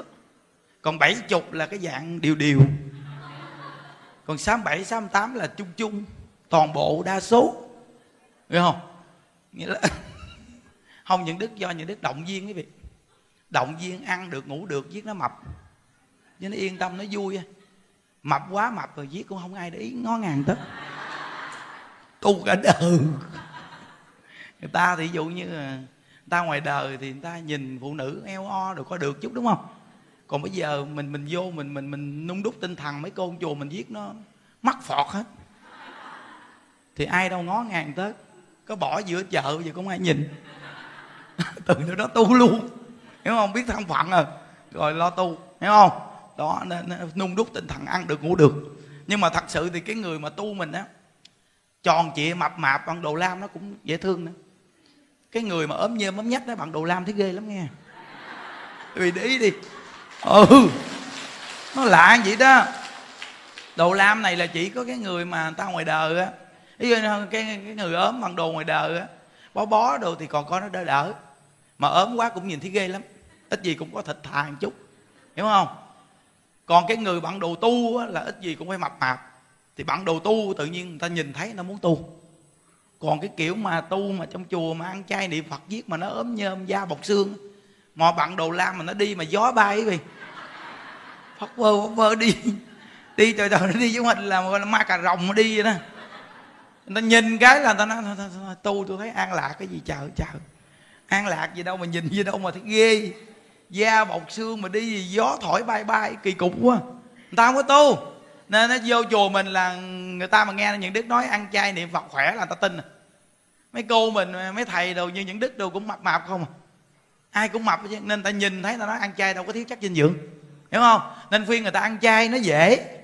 Còn nếu như mà ta ấm như, mình ấm như ấm nhách, mình nói ăn chay khỏe ta không tin nó nói, khỏe cái gì mà khỏe? Trời là trời, tôi nhìn ông mà tôi thấy gớm. Rồi da bọc xương đi, gió thổi bay bay mà khỏe gì chợ cả nhóm từ thầy cho gì nhìn thấy ghê. Đi gì đâu mà xương sốc không. Kỳ cục, hiểu không? Là tự nhiên người ta không có tin là ăn chay khỏe đâu. Nhưng mà ta vô chùa mình ta thấy rõ ràng ăn chay khỏe. Người nào cũng khỏe khoắn mập mạp, da thịt đầy đủ, mỡ cũng có chút địch. Hiểu không? Đó, nên từ nơi đó mà ngày 18 là chúng chúng ta tổ chức với ông âm nguyên một ngày ở đây. Khắp nơi nơi quý vị nên tập trung về. Để làm chi? Chùa mới mà quý vị. Dẫn người ta về. Để người ta về đây có nhiều người người ta cũng đi lên phòng ốc. Có nhiều người người ta muốn ở luôn người ta đi coi nghe. À, ta đến chùa xong ta đi coi nghe ta đi vòng vòng vòng lên lên ta bấm thang máy ta lên phòng rồi ta đi nhìn nghe. Nhìn. Nhìn nghe không có giỡn đâu. À nó người ta nhìn người ta coi cái phòng ốc làm sao, phòng rộng không, ở có làm sao. Nhà vệ sinh làm sao, có khi người ta vô nhà vệ sinh ta còn giỏi cầu thử nữa chứ. Coi nước có thông không nữa, thấy chưa? Người ta coi xong hết cái đầu ta về ta, người ta đồn. Ta đồn ra ở mấy bà già, mấy người nhiều người ta vậy đó. Người ta đầu ta về ta nói, công nhận thiệt. Cậu chào chùa gì đâu đi thang máy con bà bà. Phòng rộng dữ lắm luôn. Nhà vệ sinh đồ trong phòng luôn mà có nguyên một khu Vệ sinh mà mới cắt xong 60 cái nhà vệ sinh nó Sạch sẽ chỗ phơ đồ kế bên tiện lắm bà ô Mà đồn nhau đồn nhau. Ừ, để, để bữa nào tôi bà vô cộng tu thử từng từng Tìm hiểu kỹ rồi tính nữa nghe. Chứ tôi thấy tôi với bà già Bây giờ ở trong chùa tôi thấy yên hơn là ở nhà. Chứ tôi thấy mấy đứa con mình nó không biết tu gì. Tôi thấy tôi với bà mà ở nhà tôi thấy sau này kẹt. Coi chừng nó xử tôi với bà tôi nghe thầy đức nói tôi cũng ớn. Nó không biết làm sao giúp đó. mình ở nhà là nó có chừng nó khi mà mình sắp sửa chết nó nắm tay nắm chân nó kéo nó giật mình. Hiểu không? Rồi xong mình mình, mình vừa chết cái nó nó nó, hỏi ờ, coi coi ngày giờ hai ba tiếng sau nó liệm luôn. Lúc đó kẹt chứ lắm nó liệm liền. Tại thường là vậy đó. Rồi bắt đầu là mình à, à, cái cái đám của mình là sát sanh. Nó đãi người ta đồ mặn nó chấp điếu. Rồi mỗi tuần nó sát sanh hại bậc làm tớ luôn. Là còn tôi với bà cái như là tiêu. Giống như xuống rồi mà nó còn đẩy đẩy đẩy, đẩy xuống. Rồi tôi tôi ớn quá tôi nghe để đó sợ quá giờ tôi dự định là tôi vô chùa nhưng mà mà tôi chân cẳng nó cũng hơi yếu. Nên tôi coi chỗ nào ở mà có phòng mà có nhà vệ sinh đâu mà tôi nghe chùa mới nó có bà ơi. Nó này bây giờ tôi với bà lỡ ở đó ở thử thử có tình hình sao. Rồi thấy được là tôi quyết định tôi bà đăng ký nghe. Cái rủ được hai ba bà cái hai ba bà đi chỗ già rủ già nghe. Con xôn xôn rủ xôn xôn à, có chồng thì có rủ có chồng còn còn còn chồng bỏ thì rủ chồng bỏ. ngộ vậy đó. Nên từ nơi đó mà người ta đi đến, người ta gặp cái là bắt đầu là sao? Cái là người ta từ từ người ta đến ta ở. Quý vị coi cái chùa mới này, mới đây mà bây giờ hơn 300 người ở trong đây. Rất là mau nghe quý vị.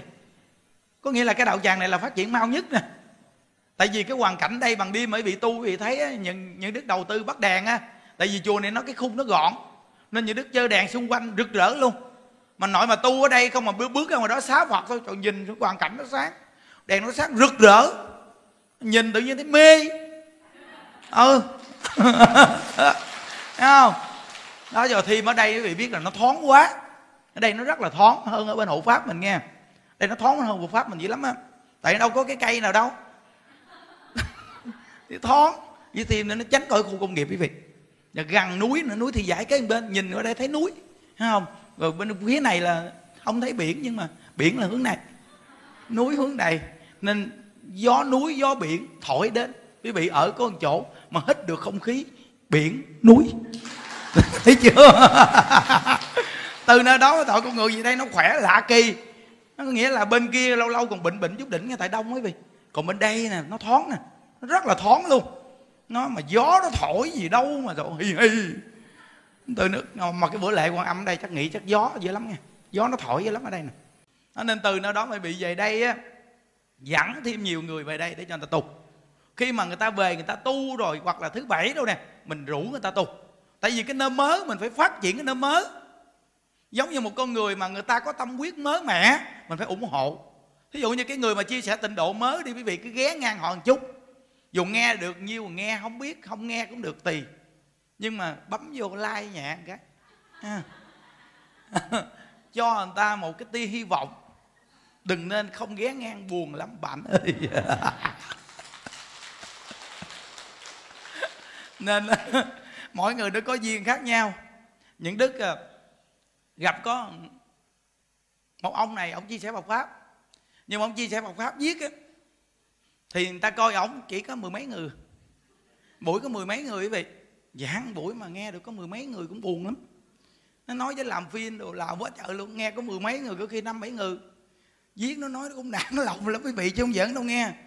Những đức mà gần gũi như đức cái động viên, kiên nhẫn đi. Đức phật ngày xưa có năm người mà. Mình có phân bị với đức phật, không mà công nhận đức phật từ bi nha đức phật chia sẻ bọc pháp ngày xưa đầu tiên chỉ có năm người nên sau này khi mình chia sẻ bọc pháp mà được sáu người là mình ngon hơn phật. Thấy không? Đó, phật công nhận là từ bi thiệt. Phật làm vậy nên con người ta có cơ hội với việc ta có cơ hội, người ta phấn đấu lên, người ta cố gắng lên. Người ta không có bỏ cuộc. Đó, nên từ nơi đó mà mình cái người mà người ta mới chia sẻ Phật pháp mà có tâm huyết á, người ta kiên nhẫn lâu dài mà ít người coi quá, lâu lâu mình ghé ngang giùm người ta một cái, bấm vô một cái, bấm vô một cái, thấy tự nhiên, ô, cái buổi giảng mình cũng được bốn năm trăm người ha cũng được quá ha. Tự nhiên trong lòng thấy cũng động viên họ, cố gắng.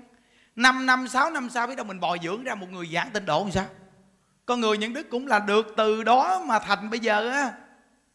Được bồi dưỡng quý vị. Chứ nếu con người mà không có cơ hội không được bồi dưỡng sao có ngày hôm nay? Nó nên tự nhiên mình bấm qua cái trang đó mình mình mình kết duyên với họ một chút xíu. Động viên họ một chút. Nó thí dụ như à, họ giảng chung chung mình nói à, thầy giảng cũng được lắm. Nó tự nhiên họ nghe họ thích á. Tự nhiên họ sẽ cố gắng họ giảng pháp. Sau này mới có người giúp chúng sanh. Hiểu không? Cái tâm mình gì đó cái phước mình rất là lớn thật sự mà nói mình mình mình mình trồng một cái hạt giống, rồi mình chăm bón, mai mốt có trái cho nhiều người được ăn. Mình nghĩ gì thì cái phước mình lớn dữ lắm. Chứ mình đâu có nghĩ rằng mình trồng cái cây này làm một mình mình để trái ăn đâu. Nên chúng ta bồi dưỡng cho một người giảng pháp để lợi ích cho rất nhiều người. Nên ai mà ngày xưa mà đã từng ban đầu ngày xưa mà đến nghe những đức giảng đó nghe, là bây giờ quý vị là người có phước lớn lắm. Ngày xưa á, tại vì sao? Vì nhờ ngày xưa quý vị ủng hộ mà ngày nay mới có thầy đức thấy không? Đó. Cái này cái quan trọng lắm á. Nên ngôi chùa mới gì nè, những đức động viên quý vị. Ngày thứ bảy, tuy là khó đi, nhưng mà quý vị hãy tính đi. Về suy nghĩ. Cách đi làm sao đó? Mà đi được, thì tùy quý vị. Thấy không? Có cách dân á rồi các đòn khắp nơi nơi á. Về đây nè. Ở bây giờ thờ thế nhiều kiếp nạn lắm mưa nắng thất thường gì đâu mà nó kỳ cục quá. Thời tiết thì chúng ta sống trong một cái hoàn cảnh đúng là khó sống. Bữa nay gì mai khác, sáng thì gió gì, chiều gió khác, kỳ cục lắm. Nó, quý vị coi như hôm qua giờ mưa là mưa mưa lạ nữa rồi đó. Thấy không? Mưa này mưa bệnh nè, mưa lạ nè, chứ không phải giỡn đâu nghe. Đã là thờ thế nhiều kiếp nạn là từ do quán khí mà sinh ra. Mà quán khí thì phải nhờ chánh khí để hóa giải. Quán là quán nghiệp quán nghiệp nó nổi lên. Nên cái bầu không khí bị ô nhiễm, gọi là quán khí.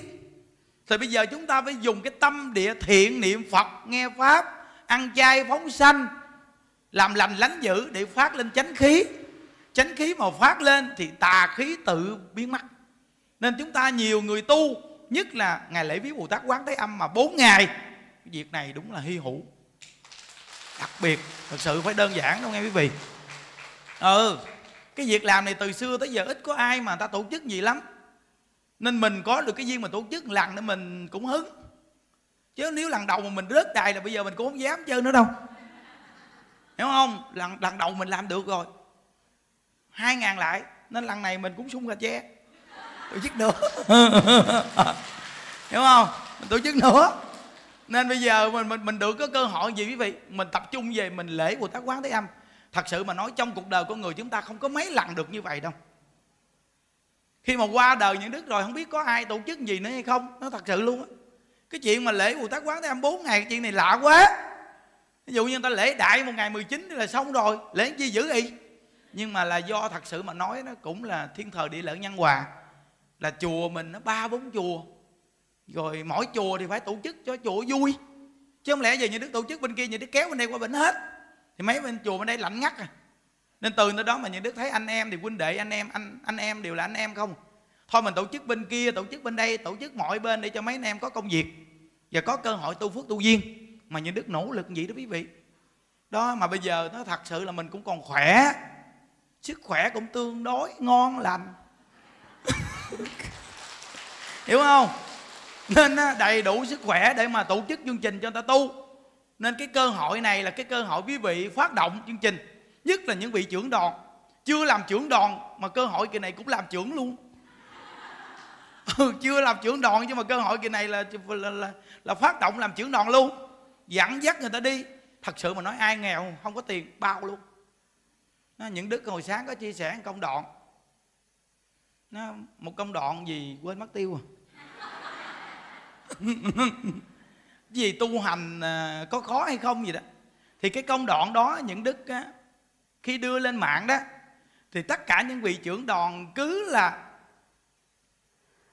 xe mà 50 chỗ đi đó 16 chỗ gì đó nói mà có câu mạng quý vị cứ bấm cái buổi lên cho họ nghe. Là những đức nhắc nhở hết trơn luôn á cho tất cả những người mà ta mới đến chùa luôn nhắc kỹ luôn. Quý vị cứ đi lên xe là bắt cái buổi đó lên. Là họ đi đến chùa nào họ cũng biết quy tắc làm sao làm sao chứ đến chùa là chịu tu, đến chùa là biết quy cách liền. Không có dám tùy tiện, mà đi chùa là có ý nghĩa. Hoặc đi chùa là chịu tu để cầu an, cầu siêu cho người thân. Chứ không dám giải đãi, không không có dám tùy tiện bỏ qua thời khóa tu. Là cái buổi đó như đức nhắc hết luôn trong vòng thời gian khoảng nửa tiếng. Thì bấm lên cho họ nghe. Có nghĩa là mỗi một đoàn xe đều bấm lên cho người ta nghe. Thì cái lợi ích nhắc nhở đó từ là đi đến chỗ đông người, giữ gìn tiền bạc, sao sao sao rồi đi đến chùa từ xài nước cũng phải sao? Rồi hộp cơm ăn để chỗ nào đúng nơi đúng chỗ. Ngồi là chỗ nào nói chuyện, đừng có ngồi mà tụm ba tụm bảy nói chuyện tào lao bác xế. Nó rõ chân trong đó luôn đó quý vị. Nửa tiếng hồ. Đó nên mình nhắc nhở từng chút từng chút từng chút. Quý vị kết hợp những đức gì tất cả những vị trưởng đoàn tập trung người. Người nào nghèo khổ quá, bao xe cho đi luôn. Nghĩa là mình là mình hiểu rồi quý vị. Trong cái cuộc đời này mình hiểu rồi sanh công an đến, chết công an đi, thật sự, tu phước tu duyên được rất là mừng. Tu phước tu duyên được rất là mừng. Bây giờ chúng ta đang ngồi đây thật sự mà nói cuộc đời của người chúng ta đêm nay ngủ biết làm sao? Cái cơn vô thường trong cái cuộc đời này lạ lắm. Của cải vật chất dù có nhiều cỡ nào mà ngay cái chỗ đất của mình biết đâu tự nhiên nó sụp xuống phát, động đất cái sao? Ai mà biết được? Quý vị nhớ nghe, cuộc đời con người chúng ta sống ở cái cõi này có chừng có khi mình hụt hẳn đó đừng có nói rằng sự nghiệp tôi lớn vậy, con cháu tôi ăn cả đời cũng không hết. Chưa chắc. Nó mà hết phước thử đi, quý vị thấy nó lạ kỳ lắm. Nhiều mình không có tu, mình mình mình nghĩ nha nhiều người không có tu, mình nghĩ gì nè. Rồi tiền bạc, rồi địa vị, rồi sự nghiệp, rồi nhà cửa, công ty, đất đai. Nó nhiều gì, cách nào mà hết. Không hết được đâu. Chưa chắc trong mạng mà nó hết của đi, rồi quý vị sẽ thấy nó. Nhà kế bên không động đất, nhà mình động đất. Ngay chỗ mình, công ty mình động đất. Ngay công ty mình tự nhiên bốc cháy. Chỗ mình có vấn đề, cứ chỗ mình có vấn đề, chỗ mình có vấn đề. Rồi nó làm chết người, nó làm người bị này bị kia, mình phải đền bồi. Nó làm cho mình mà tan nhà, mất mạng luôn. Là vì sao? Vì trong mạng hết phước. Khi hết phước nó kỳ cục lắm còn khi trong mạng mà có phước là nó che chở, nghiệp nặng nó chuyển thành nhẹ. Nghiệp nhẹ nó biến mất luôn. Nên cái việc mà tu phước tu duyên là việc cực kỳ quan trọng. Khi mà cái việc mà tu phước tu duyên mà chịu làm đó, cứ làm mạnh đi, đừng có sợ. Dù có gặp cái gì đi chăng nữa cũng là trả qua báo, đừng có sợ. Vì mình làm việc thiện, việc tốt mà. Đó, nên quý vị biết rằng bây giờ quý vị coi, đi đến đây quý vị thấy mấy dãy nhà nó bự thế ghê chưa? Năm nay xong á. Mấy dãy đó, mấy dãy đó quý vị coi xong rồi về ở cho mà thấy. Nhiều nhà lắm đó quý vị phòng nhiều lắm mà bốn tầng. Mà một dãy nhà đó là hai cái thang máy. Thang đầu, thang cuối. Mà mỗi một thang máy những đức bắt cái à, camera luôn. Rồi xong chơi câu qua, đây có cái tivi. Là giống như là câu thẳng mỗi ngày có người để mà ngồi ngay cái máy đó để kiểm tra luôn. Biết chi không? Đông quá, khi nam nữ nó vô thang máy nó bấm lên bấm xuống tính đến mức vậy luôn á trời tu tu chứ nó nói mình phải canh đó. chứ không giỡn đâu nghe. Thang máy mà vô đó hai người bấm lên bấm xuống hoài sao? Ai biết được? Đâu mình nói ai biết được gì? Sùng sồ mình cũng mình cũng canh luôn. Nên mình mình mình mình mình đặt mình mình đặt cái camera trong đó nó, nó kéo đường dây điện qua đây. Rồi, rồi có cái máy chính nó nằm ở trong phòng đăng ký có người ngồi, ngồi đăng ký rồi ngồi trực máy luôn. Phòng số 1, số 2, số 3 khu nhà nào khu nhà nào có động tịnh gì cái là lỡ đó tại chỗ bấm cái sẹt mở cửa ra coi ghê chưa, quý vị quản lý kinh khủng thiệt chứ. Hiểu không? Khổ này quý vị coi, không có giỡn nghe. Đây cũng là nhiều hơn là một công ty lớn á. Thì có nhà cửa kinh khủng chưa? Đó, mà hết năm nay là hòa thượng cắt xong đó. Sáng thấy hòa thượng lớn tuổi gì mà còn đi vòng vòng vòng, coi. Mà thấy quý vị về đây tu chùa mới mà về quý vị tu, hòa thượng vui lắm. Nên quý vị làm gì cái phước vị cũng lớn. Đôi khi qua đứng đứng khu vực ngoài này nhìn nhìn nhìn thấy cộng tu rồi chia sẻ Phật pháp rồi trong lòng vui. Cái cảm giác mình xây lên ngôi chùa mà ta về nó tu mình vui lắm quý vị. Cái cảm giác đó đó. Mà tuổi già mình giúp cho hòa thượng vui vậy, ông khỏe, sống lâu. Mà hòa thượng mà sống lâu là mình cơ hội hoàng pháp ngon lành đó nghe, không giỡn đâu. Hòa thượng mà ông đi giảng sanh bất tử là những đức kể như là thôi, chào quý vị luôn. Chứ không chuyện giỡn đâu á ừ. Nên không có chuyện, trời cái cõi đâu có dễ làm đâu. Nhưng đức có ông huynh đệ bây giờ ông bên cạnh như đức ông ông hiếu mắt to. Ra miền ngoài ngoài đâu có nhiều đâu có mười mấy hai chục bà già. Mà ông thì thường thích bóng xanh. Bóng xanh mà ông lỡ ngay chợ luôn quy ông la ông sùm ngoài chợ. Vậy mà cuối cùng nó vớt không không cho ở luôn. Nó, vậy mà nghe nói mà dẫn mấy bà già đi vòng vòng. Cuối cùng có phật tử nào người ta cho về về nhà ở. Thấy không dễ đâu chợ. Không? Chi mình đông y yên gì? Nên được hòa thượng ngài có đức hạnh có nhân viên ở đây dày quá. Rồi ngài làm việc nó hợp tình hợp lý. Nói rồi quý vị coi bây giờ cái cái phòng hộ niệm đang cắt đó. Là phòng hộ niệm đó sau này những người ta cơ nhở đâu quý vị. Người ta đi đến đây cái dùng ở ở đây nè. Thị xã đâu đây mà người ta những người người ta đi ở xa ta đến ta, ta sống mà ta đi làm mà. Lỡ cơ nhở người ta lỡ có sự ngặt nghèo người ta khổ gì cuộc đời người ta đó thì ờ, đưa lại đây mình hộ niệm giùm và liệm giùm đi thiêu giùm. Ừ làm luôn á. Đây nè hộ niệm này là sau này dữ lắm chứ không phải đơn giản đâu nghe. Mới uh, sắp xếp nguyên một cái ban uh, ờ, mai mai táng của chùa 12 chú. Nó rồi sau này đây mà, mà chắc là ai ai mà làm cúng quan tài. Trời quan tài cũng ngon lắm á trời giỡn đâu. Bị biết bây giờ bị vị nó thật sự mà nói cúng cái gì mà bằng cúng quan tài? Quan tài. Hiểu chưa? Cúng quan tài. Nó bây giờ vì mỗi lần như đức mua khoảng tám chục cái. Thì bên kia ba, mười lăm, mà đại ông lâm mười lăm, rồi bên đây năm chục, tám chục. Ở đây thì năm chục đây nhiều sao này nhiều. Nên phải có một kho quan tài kế chỗ đó luôn để dành. Chứ bây giờ không, nửa đêm nửa hôm mình chạy đi tìm quan tài đâu? Phải chuẩn bị quan tài chứ hiểu không? Quan tài chỗ này là người ta bán cũng rẻ nha. Quan tài được lắm, đẹp. Nằm cũng tương đối im. Và giá cả phải chăng luôn. Cái hai triệu. Được lắm, đúng không? Ồ Nhuận Đức tính kỹ lắm á, Tính kỹ lắm, Biết sao không?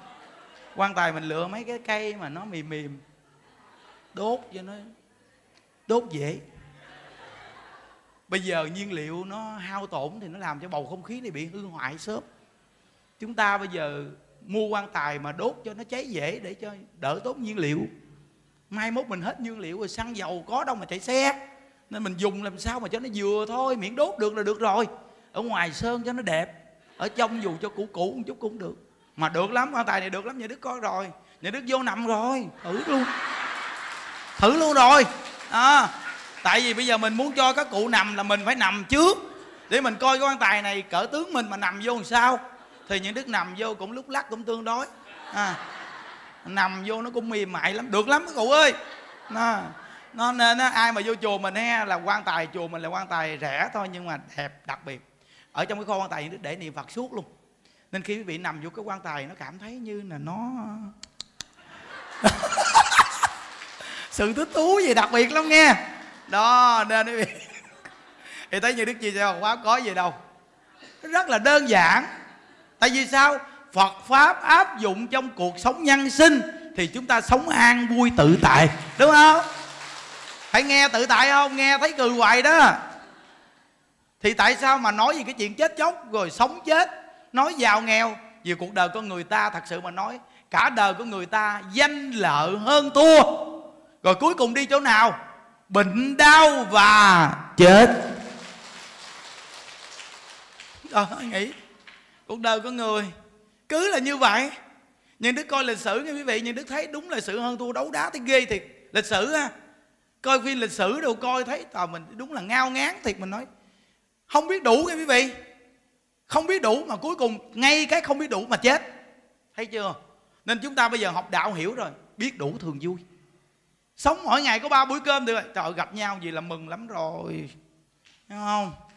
Gặp nhau gì là quá đặc biệt rồi. Rảnh rảnh chạy lên chùa tu. Lúc nào lễ lộc chạy đến chùa tu. Đúng không? Bữa nào rảnh rảnh chạy đến chùa ăn bánh xèo. Thật sự mà nói chùa mình nó là một đại gia đình. Lúc nào gì thứ bảy, chủ nhật dẫn con cái đến chùa hết. Dẫn thêm cha mẹ, ông bà được luôn không? Có nghĩa là dẫn đến chùa được ở hết. Đi đến chùa là ăn cơm, ngồi ăn chung nhau. Rồi nó cảm thấy như là nó ấm áp, làm sao á? Nó tuyệt vời lắm. Nghĩa là những đức muốn á, là ngôi tam bảo nó trở thành một cái nhân sinh sống cho con người ta. Ai cũng được nhờ. Đúng cái câu chùa là tổ ấm ta về quý vị. Phải không? Về đây là cảm thấy như là một cái tổ ấm của mình vậy đó. Tự nhiên về đây giàu nghèo gì gì đây cũng bình thường à. Những việc mình làm được thì mình làm, có ai ép mình đâu đâu ai ép đâu quý vị. Thí dụ như bây giờ những đức ngồi đây giảng xong rồi bây giờ quý vị lên gì cũng dường tiền. Đi có hàng có hàng lên. Kẹt á. Sao kẹt? Cái hàng kia đi có tiền cúng, rồi lỡ cái bà kia không có đem tiền theo, bà lạng hả? Cái bà kia không có tiền là bà lạng, đường sao xong nó trốn mất tiêu.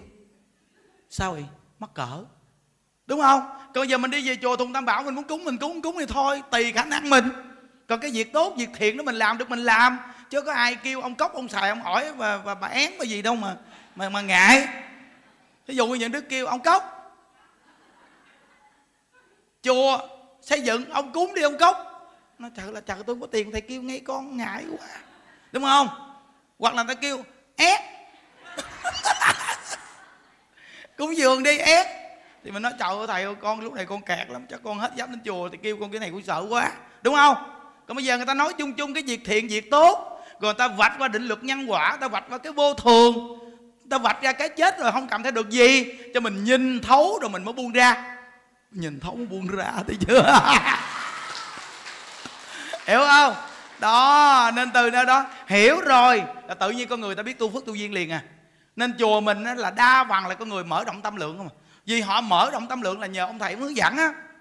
Chứ trước nhất bản thân mình phải đến với người ta rộng rãi trước đi nó nên ngày nào cũng vậy thứ bảy, chủ nhật này kia đồ, quý vị, lỡ đây mình tu là mình thấy mình vui à. còn mỗi ngày chia sẻ Phật pháp hai buổi, nghe với nó cỡ mở tâm tư chứ. Thật sự mà nói, có nhiều người nói nghe, con vừa buồn buồn cái gì cái là thầy nói ngay cái đoạn đó luôn. Quý vị cứ nghe đi là nó có cảm ứng liền à. vừa buồn buồn hoặc là chồng la một cái đó, chồng la một cái mà buồn được là tự nhiên bữa đó nói gì chồng la. Ngộ ghê vậy trời là trời. Nó nên viết rồi đó cởi mở tâm tư viết rồi giống như mình mình có một cái cái sự nương tựa bình an. À, có một điểm nương tựa rất là bình an. À, chùa mình cấp tết tới giờ đi hai người. Đi hai người mở hàng trong tháng giêng. Mà bảo tháp đi không à? Chứ hộ pháp chưa đại lâm chưa ở đây cũng chưa. Không tháng giêng mà mở hàng gì thấy năm nay cũng đẹp. Người nam người nữ thành cặp. thấy chưa? Nhưng đức nói với vị nghe chứ, tất cả người trong chùa mình ai cũng có cái góc độ nhìn thấu dễ lắm. Tại vì sao? Quý vị đi về chùa mình tu, quý vị cần nhìn người già đi bớt cơm ăn thôi, mình cũng, mình còn trẻ, mình cũng nhìn thấu được. Vì tương lai, mình cũng già. Mình cũng già như họ. Nhìn họ già để mà nhìn mình già. Nhìn cái khổ của người già đi một chút, cái gõ gõ cái tay vô cái cái xương sống đứng ở ẩn ẩn đau chứ sống. Nên những đức thường nói, những cái người mà nuôi người già những đức nói, thông cảm cho người già khó tính. Không thông cảm cho người già khó tính sao nuôi? Rồi quý vị coi lâu lâu mình bệnh đau một cái tay thôi mình mình còn khó khăn rồi nè. Không mà những đức thì có cái tính là bệnh rất là dễ nha quý vị. Bệnh cái là mặt tội nghiệp. Mà lúc nào mà sắp sửa hết bệnh là mặt thấy ghét. Ừ kỳ cục lắm, mỗi lần bệnh mặt tội nghiệp lắm, bệnh. Nằm ai đem cháo tôi lên nha. Ăn cháo đi thầy đồ này kia rồi này. Ờ để đi. Nói về sờ nghe, nói tội nghiệp kinh khủng luôn quý vị. Vậy mà khỏe lên cái là để đó đi. Mặt kinh kinh lên liền, kinh khủng đi đó. Bởi vì thấy khỏe là cái mặt là biết thấy khỏe. Còn lúc nào mà bệnh lên chia sẻ Phật pháp đó nghe. Bữa nào mà bệnh mà lên mà chia sẻ Phật pháp đó lên. Ờ cố gắng. Thấy không? Cứ nghĩa là được con cái là khi bệnh hiền tại vì sao? Bệnh mà không hiền đừng cho ta bỏ tao mà chết. Nên quý vị nhớ nghe. Bệnh mà câu có khó chịu người ta lo làm sao cũng không vừa lòng không vừa ý là người ta bỏ cho chết. Nghe không? Đó, mấy bà già.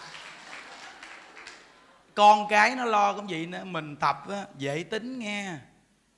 Nó, mình tập dễ tính đi ai người ta cũng thích lo cho mình trời ơi, mình mà khó tính là người ta sợ dữ lắm.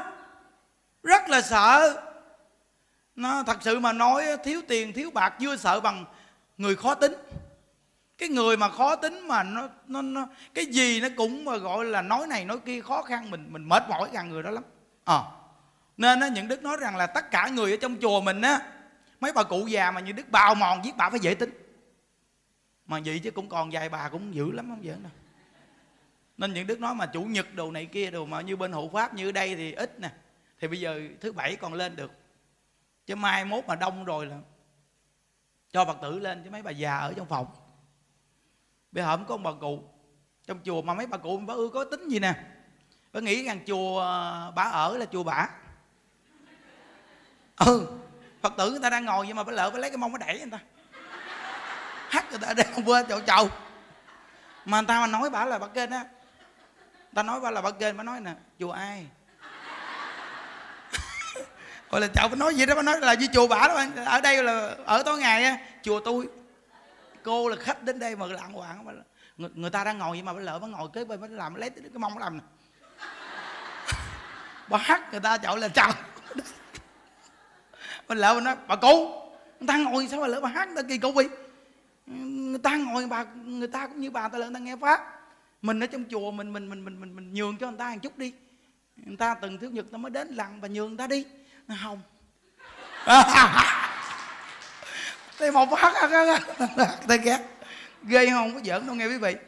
Nên quý vị đi về chùa gặp mấy cụ vậy thông cảm. Tại bà cụ gái có ai ngồi trên được quay phim được á. Rồi nghe chữ đức giảng mới vui mới phát. Quý vị mới thấy mấy vị ngồi trên nó lỡ hát quý vị đó. ôi tội nghiệp tới kia. Nên từ nơi đó mà những đứa cũng gầy hoài đó. Gầy hoài nên bên hộ pháp là chủ nhật những đứa không có cho lên đó, quý vị. Không có cho lên ở trong phòng nghỉ ngơi. Ôi ôi, bây giờ bên hộ pháp mình là coi 329 người là thường trụ không. Còn cộng tu mỗi ngày là hơn trăm người nữa. Là tính ở bên hộ pháp là bốn trăm mấy chục người, quý vị. Xuyên suốt luôn. Ngày nào của bên hộ pháp cũng là số lượng gì có lúc tăng lên khoảng hơn 500 là đoàn đồ đến tu đó, hơn 500 là ngày nào cũng đi rang vậy luôn. Còn quý vị coi như ở đây bây giờ là 300 hơn 300 người. Là hai bên quý vị thấy à. vớt hai bên là thấy thấy thấy, thấy 700 nằm, nằm gọn trong tay rồi đúng không? Bên đại tùng lâm với bảo tháp là khoảng cỡ ờ, chắc gần 400 thì vì thấy cái số lượng người kinh khủng không?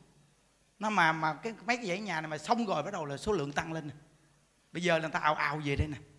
Nên, nên những, những đức nói rằng bây giờ mình gặp Phật pháp mà mình gặp được cái ngôi chùa gì tuổi già đó, về để ở tu đi. Nhất là cái lúc những đức còn trẻ này nè, cái lúc tuổi những đức còn khỏe này nè, mà những đức lo là chắc chắn, yên tâm. Tại vì những đức có tâm quyết này, cái gì chứ những đức có tâm quyết nuôi người già nghe. Không, nó đừng nói nuôi người già, nuôi người trẻ như đức cũng có tâm quyết nữa. Ừ nuôi người là tôi phái à những đức nói thiệt nghe, một là nuôi con người, hai là những đức lo cho người chết thì những đức rất là phái. Tại những đức thấy đây là một đời người rồi. Mình cứ làm một đời người đi. Một đời người quan trọng nhất là khi còn sống được lo, khi chết được quan tâm cái chuyện hộ niệm. Hồi một đời người thê thảm nhất mà sống cả đời mà khi mà gần chết mà bỏ bê tha, nằm đó mà như trời thấy cái xác chơi trội không ai hộ niệm cho mình thấy sao một đời đi qua tội nghiệp quý vị ơi rồi phần nhiều đa phần vậy là chết đi đỏ chân rồi. Mình nhìn cái cảnh tình đó thôi mình đau lòng thiệt. Bây giờ mình đặt mình vào người ta mới bị nghĩ một đời đi qua, vì thấy đau lòng không? Phật nói rằng được thăng người khó được. Bây giờ được, có thăng người thăng người khó được, bây giờ có thăng người. Vậy mà bây giờ có thăng người mà để một đời đi qua, mà gần chết như vậy vì thấy thê thảm không? Nên những đức nói cái công đức lớn vô cùng là lúc còn sống mà dạy người ta nuôi huệ mạng cho người ta. Và khi chết hộ niệm cho người ta nên hòa thượng làm phòng hộ niệm là những đức nói quý vị. Hòa thượng làm phòng hộ niệm là cái công đức vô lượng nên đầu tư. Hiểu chưa? Đúng chỗ. Nên những đức nói vị, thí dụ như, tu phước duyên thì ở đâu cũng tu phước duyên. Nhưng mà cái nơi mà nó đang phát triển, lợi ích cho người ta, là đầu tư vào mảnh đất này gọi là mảnh đất phù sa. Nên mấy bà già trong chùa mà vô đây mà mà mà nói còn giữ tiền là có ngày tôi bắt tại lo hết dân rồi, mà còn tiền tu mới được. Nhất là đi tu rồi mà mà mà để tiền để dành nói vậy nè. Lỡ tu không được rồi có tiền xe mà đi gì thế nào cũng đi về à, chợ. Đã là đi tu thì chỉ có cái mạng à. Đem cái mạng này ra cược luôn, đừng có nói dòng do chứ nha chúng ta đem cái mạng đi cược quýnh bài còn sợ. Chứ đem cái mạng mà tặng cho phật a di đà để làm việc trong ngày thì không sợ nữa. Không còn một cắt bạc trong túi để những đức lo mấy bà cụ già mà vô chùa mình tu, mấy bà yên tâm đi. Đồ đạc là chắc chắn có bạn không bao giờ mà thiếu cái quần nào đâu mà sợ. Thật sự mà nói, bây giờ quý vị cái phước lớn nhất mà quý vị biết rằng là không có giữ tiền dưỡng già mà ở đây người dưỡng. Không có tiền dưỡng bệnh mà khỏi bệnh. Không cần giữ dành, giữ gìn tiền mua quan tài, có đây những đức mua. Cho cháu ngon lành cặn tử nghiệp, hộ niệm luôn. Phi. Phi. Đúng là số một nha quý vị. Quý vị thấy cái cuộc đời người ta, nhiều người người ta giàu mà người ta chuẩn bị tùm lum thứ cho cái cuộc đời người ta. Chưa chết mà mua cái mảnh đất chỗ chôn để sẵn mà đắt mắc lắm, đâu giỡn đâu chợ biết bao nhiêu tiền bạc mà nói. Vì mà mua cái chỗ miếng đất mà phong thủy tốt được để dành mà chưa chết. Thì thấy không? Bây giờ mình đi vô chùa mình tu, mình không có tốn tiền phi lý. Đất nước, gió lửa trả về cho đất nước, gió lửa. Ở đây nó rộng, ai có đau chân thẳng chân ra không sao đâu, thông cảm. Hiểu không? Nên từ nơi đó mới bị biết rằng, gặp cái duyên này nghe, mình con cái giới thiệu cho cha mẹ già. Còn cha mẹ không đi, mình ở nhà lập ngôi tam bảo cho cha mẹ niệm phật, nuôi dưỡng cái huệ mạng cho cha mẹ cái việc làm này ý nghĩa dữ lắm. Còn tất cả các sư cô mà đi về đây, yên tâm, lo tu đi, khỏi cần đi đâu vòng do chứ. Thấy không? Ai nói gì mà cái câu kệ, miệng cuối cuộc đời, hộ niệm cho tôi được. Cái vòng do cho nó mệt đi đâu xa hiểu không? Nó gặp ngay con người, nó có tâm nuôi con người ta. Những đức nó thật sự nghe cái gì, những đức được, những đức muốn thì chúng được á. Người như đức vậy đó. Mà nuôi con người là những đức nó thật sự nuôi tới bờ, tới bến luôn.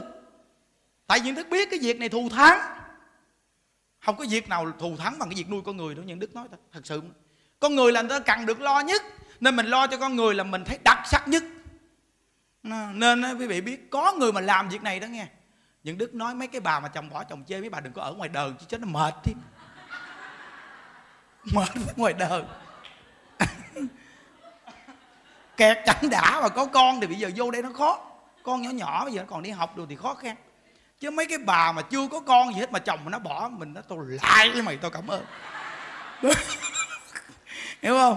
Đi vô đây phước cho rồi đi, để phụ những đức người tay hiểu không? Kiểu sùng sồn, nói chuyện nhau dễ. Hiểu hết rồi, hiểu không? Văn có cửa không mà sợ gì? Hiểu không? Nó nên từ nơi đó mà. Vô đây, cùng nuôi người già. Thật sự mà nói, bây giờ mình làm cái vai trò này, mình rủ nhiều người làm một người làm được. Bây giờ đơn giản thôi, bây giờ ở đây sau này lập ra một cái cái cái cái ban mà gọi là nuôi người già khi yếu. Bây giờ quý vị, nuôi người già thì người ta phải có bệnh chứ. Bệnh yếu thì phải có người giáo lao lo lắng cho người ta quan tâm, hiểu không? Chứ bây giờ mà toàn bây giờ hiện tại khỏe không không có cái cái vị trí nuôi người già mà yếu á, thì mai mốt mấy bà già yếu phải đưa bên kia, nó không có đúng. Nếu cái phòng hộ niệm này xong rồi là mấy bà cụ nằm yếu yếu á, là xuống phòng hộ niệm nằm. Để chi phải không? Chưa chết mà nằm phòng hộ niệm sẵn. Nè nói cái nó nói cái việc mà nằm phòng hộ niệm sẵn nó lợi ích cho vị nghe nè.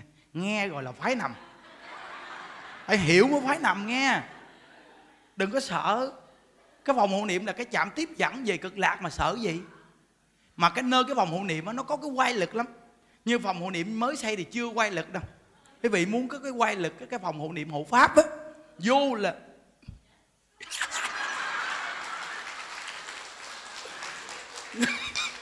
đi nhiều quá rồi. Từ khi mà những đức xuống đây tới giờ phòng quan niệm đi biết bao nhiêu mà nó. Đại tùng lâm cũng đi nhiều lắm. Cái nơi mà nhiều người đi nó có một cái quay lực. Quay lực gia trị. Hiểu chưa? Không mà những đức nói cho quý vị nghe nghe người ngoài đời mà người ta chết đó quý vị. Đa phần những đức hỏi người ta đều là chết xong là vừa báo mộng. Đa phần ngoài đời chết là vừa báo mộng à. Gặp người thân, gặp nói này nói kia, đòi ăn đòi uống, đúng không? Những đức nói quý vị nghe đúng là mấy bà cụ trong chùa mình được rèn luyện. Đúng là cao thủ võ lâm. Được rèn luyện lúc còn sống. Nên khi mấy bà cụ mình chết rồi đó nghe không có một bà nào mà léo hánh gì đây. Ừ chưa từng nghe. Chưa từng nghe một bà già nào mà chết rồi mà nói mà về mà nói mà nói mà, mà gặp mình hay là nói là báo mộng gì mà ngủ mà thấy gì chứ. Không không dám luôn biết đi đâu mất tiêu. Chắc đi về cực lạc chứ đi đâu, thấy không? Đi mất tiêu chứ à? À lạ vậy đó. Mà quý vị biết rằng ngày xưa những đức trên đà lạt nghe còn có cái vụ mà mắc rồi xong á, đi về giữ cái giường. Mấy lần như đức xử lý mà, về giữ cái giường. Mỗi lần mà sắp người ta vô nằm cái giường, bởi vì con người mình nó chấp ghê lắm. Bởi vì đi vô đây mà những đức kêu xả tiền, không về nhà, không xài điện thoại, là đúng là gặp cơ duyên để đời này giảng sanh chứ gặp mà còn tiền đi về nhà mà giữ điện thoại thì không có giảng sanh đâu. Khó tu lắm. Nó vừa tu ra cái là bắt đầu con nó điện, mẹ, sao rồi mẹ? Cái mình trả lời là, cháu của bà sao rồi? Hay không? Thì sao mà giảng sanh còn đây bây giờ không co bà nghe tin tức gì luôn. Viết mà xóa sổ trong trong trong trong bộ não luôn. Chỉ còn có câu ai với đạo phật à. Thành tựu dễ. Ngày xưa trên kia là còn xài điện thoại, còn đi về nhà nghe quý vị. Trên đà lạt á chết xong. Một cái giường bình thường thôi. Như vậy mà chết xong lìa thiêu đồ xong hết trơn. Đưa người ta vô nằm cái giường đó tối. Tối. Nó đứng. Ngay cái đầu giường mà ta nằm ngủ nó đứng mà mình thường lần sao ngộ nghe cái cảm giác. Cái người người ta chết rồi sao nó ưa bằng đồ trắng mà sao kỳ cục cái cha lúc chết đâu có đồ trắng bằng đâu mà sao mà, mà hiện hồn gì bằng đồ trắng không sao kỳ cục? Chắc này là cái quan niệm đáng sợ hay sao đứng ngay cái cái đầu nằm á quý vị đầu nằm ta. Phóc phơ, gió thổi. Kinh khủng thiệt chứ. Gió thổi phóc phơ rồi cái bà này ba mở mắt ra ba mới nhìn thấy. Nói, ủa, bà là ai? Bà đứng đây. Nói, giường này của tôi.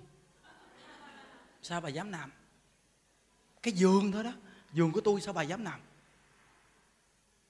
Con nói ôi tàu thầy đặt chắc tôi vô đây mà sao giường của tôi là giường sao? Giường này tôi giường của tôi. Bà đứng ra nghe bà đi ra nghe. Sáng bà kia bà, bà, bà, bà, bà sợ quá bà, bà, bà lỡ bà gặp như đứa thầy thầy hồi tối con đang ngủ cho con thấy có cái bà bà lỡ bà nói giường của bà bà kêu con đi. Nhưng đứa hỏi bà đó làm sao? Lùng cao mập ốm làm sao bà nói coi bà thả ra cho những đứa nói bà lạng hoạn chết rồi còn đi giành giường. Lỡ ngay cái giường tại biết bà canh ngay cái giường lỡ ngay cái giường nói, bà nghe, bà ép. Nói với bà biết ra mỗi ngày giảng pháp nhắc nhở bà mà bà chết bà còn dành cái giường. Đi đi đi về cực lạc. Hoặc là ở đây cũng là lo niệm phật chứ không có được lại dành giường nghe chưa? Đặt chấp vô rồi đó nghe. Từ đó vì sao? Không dám.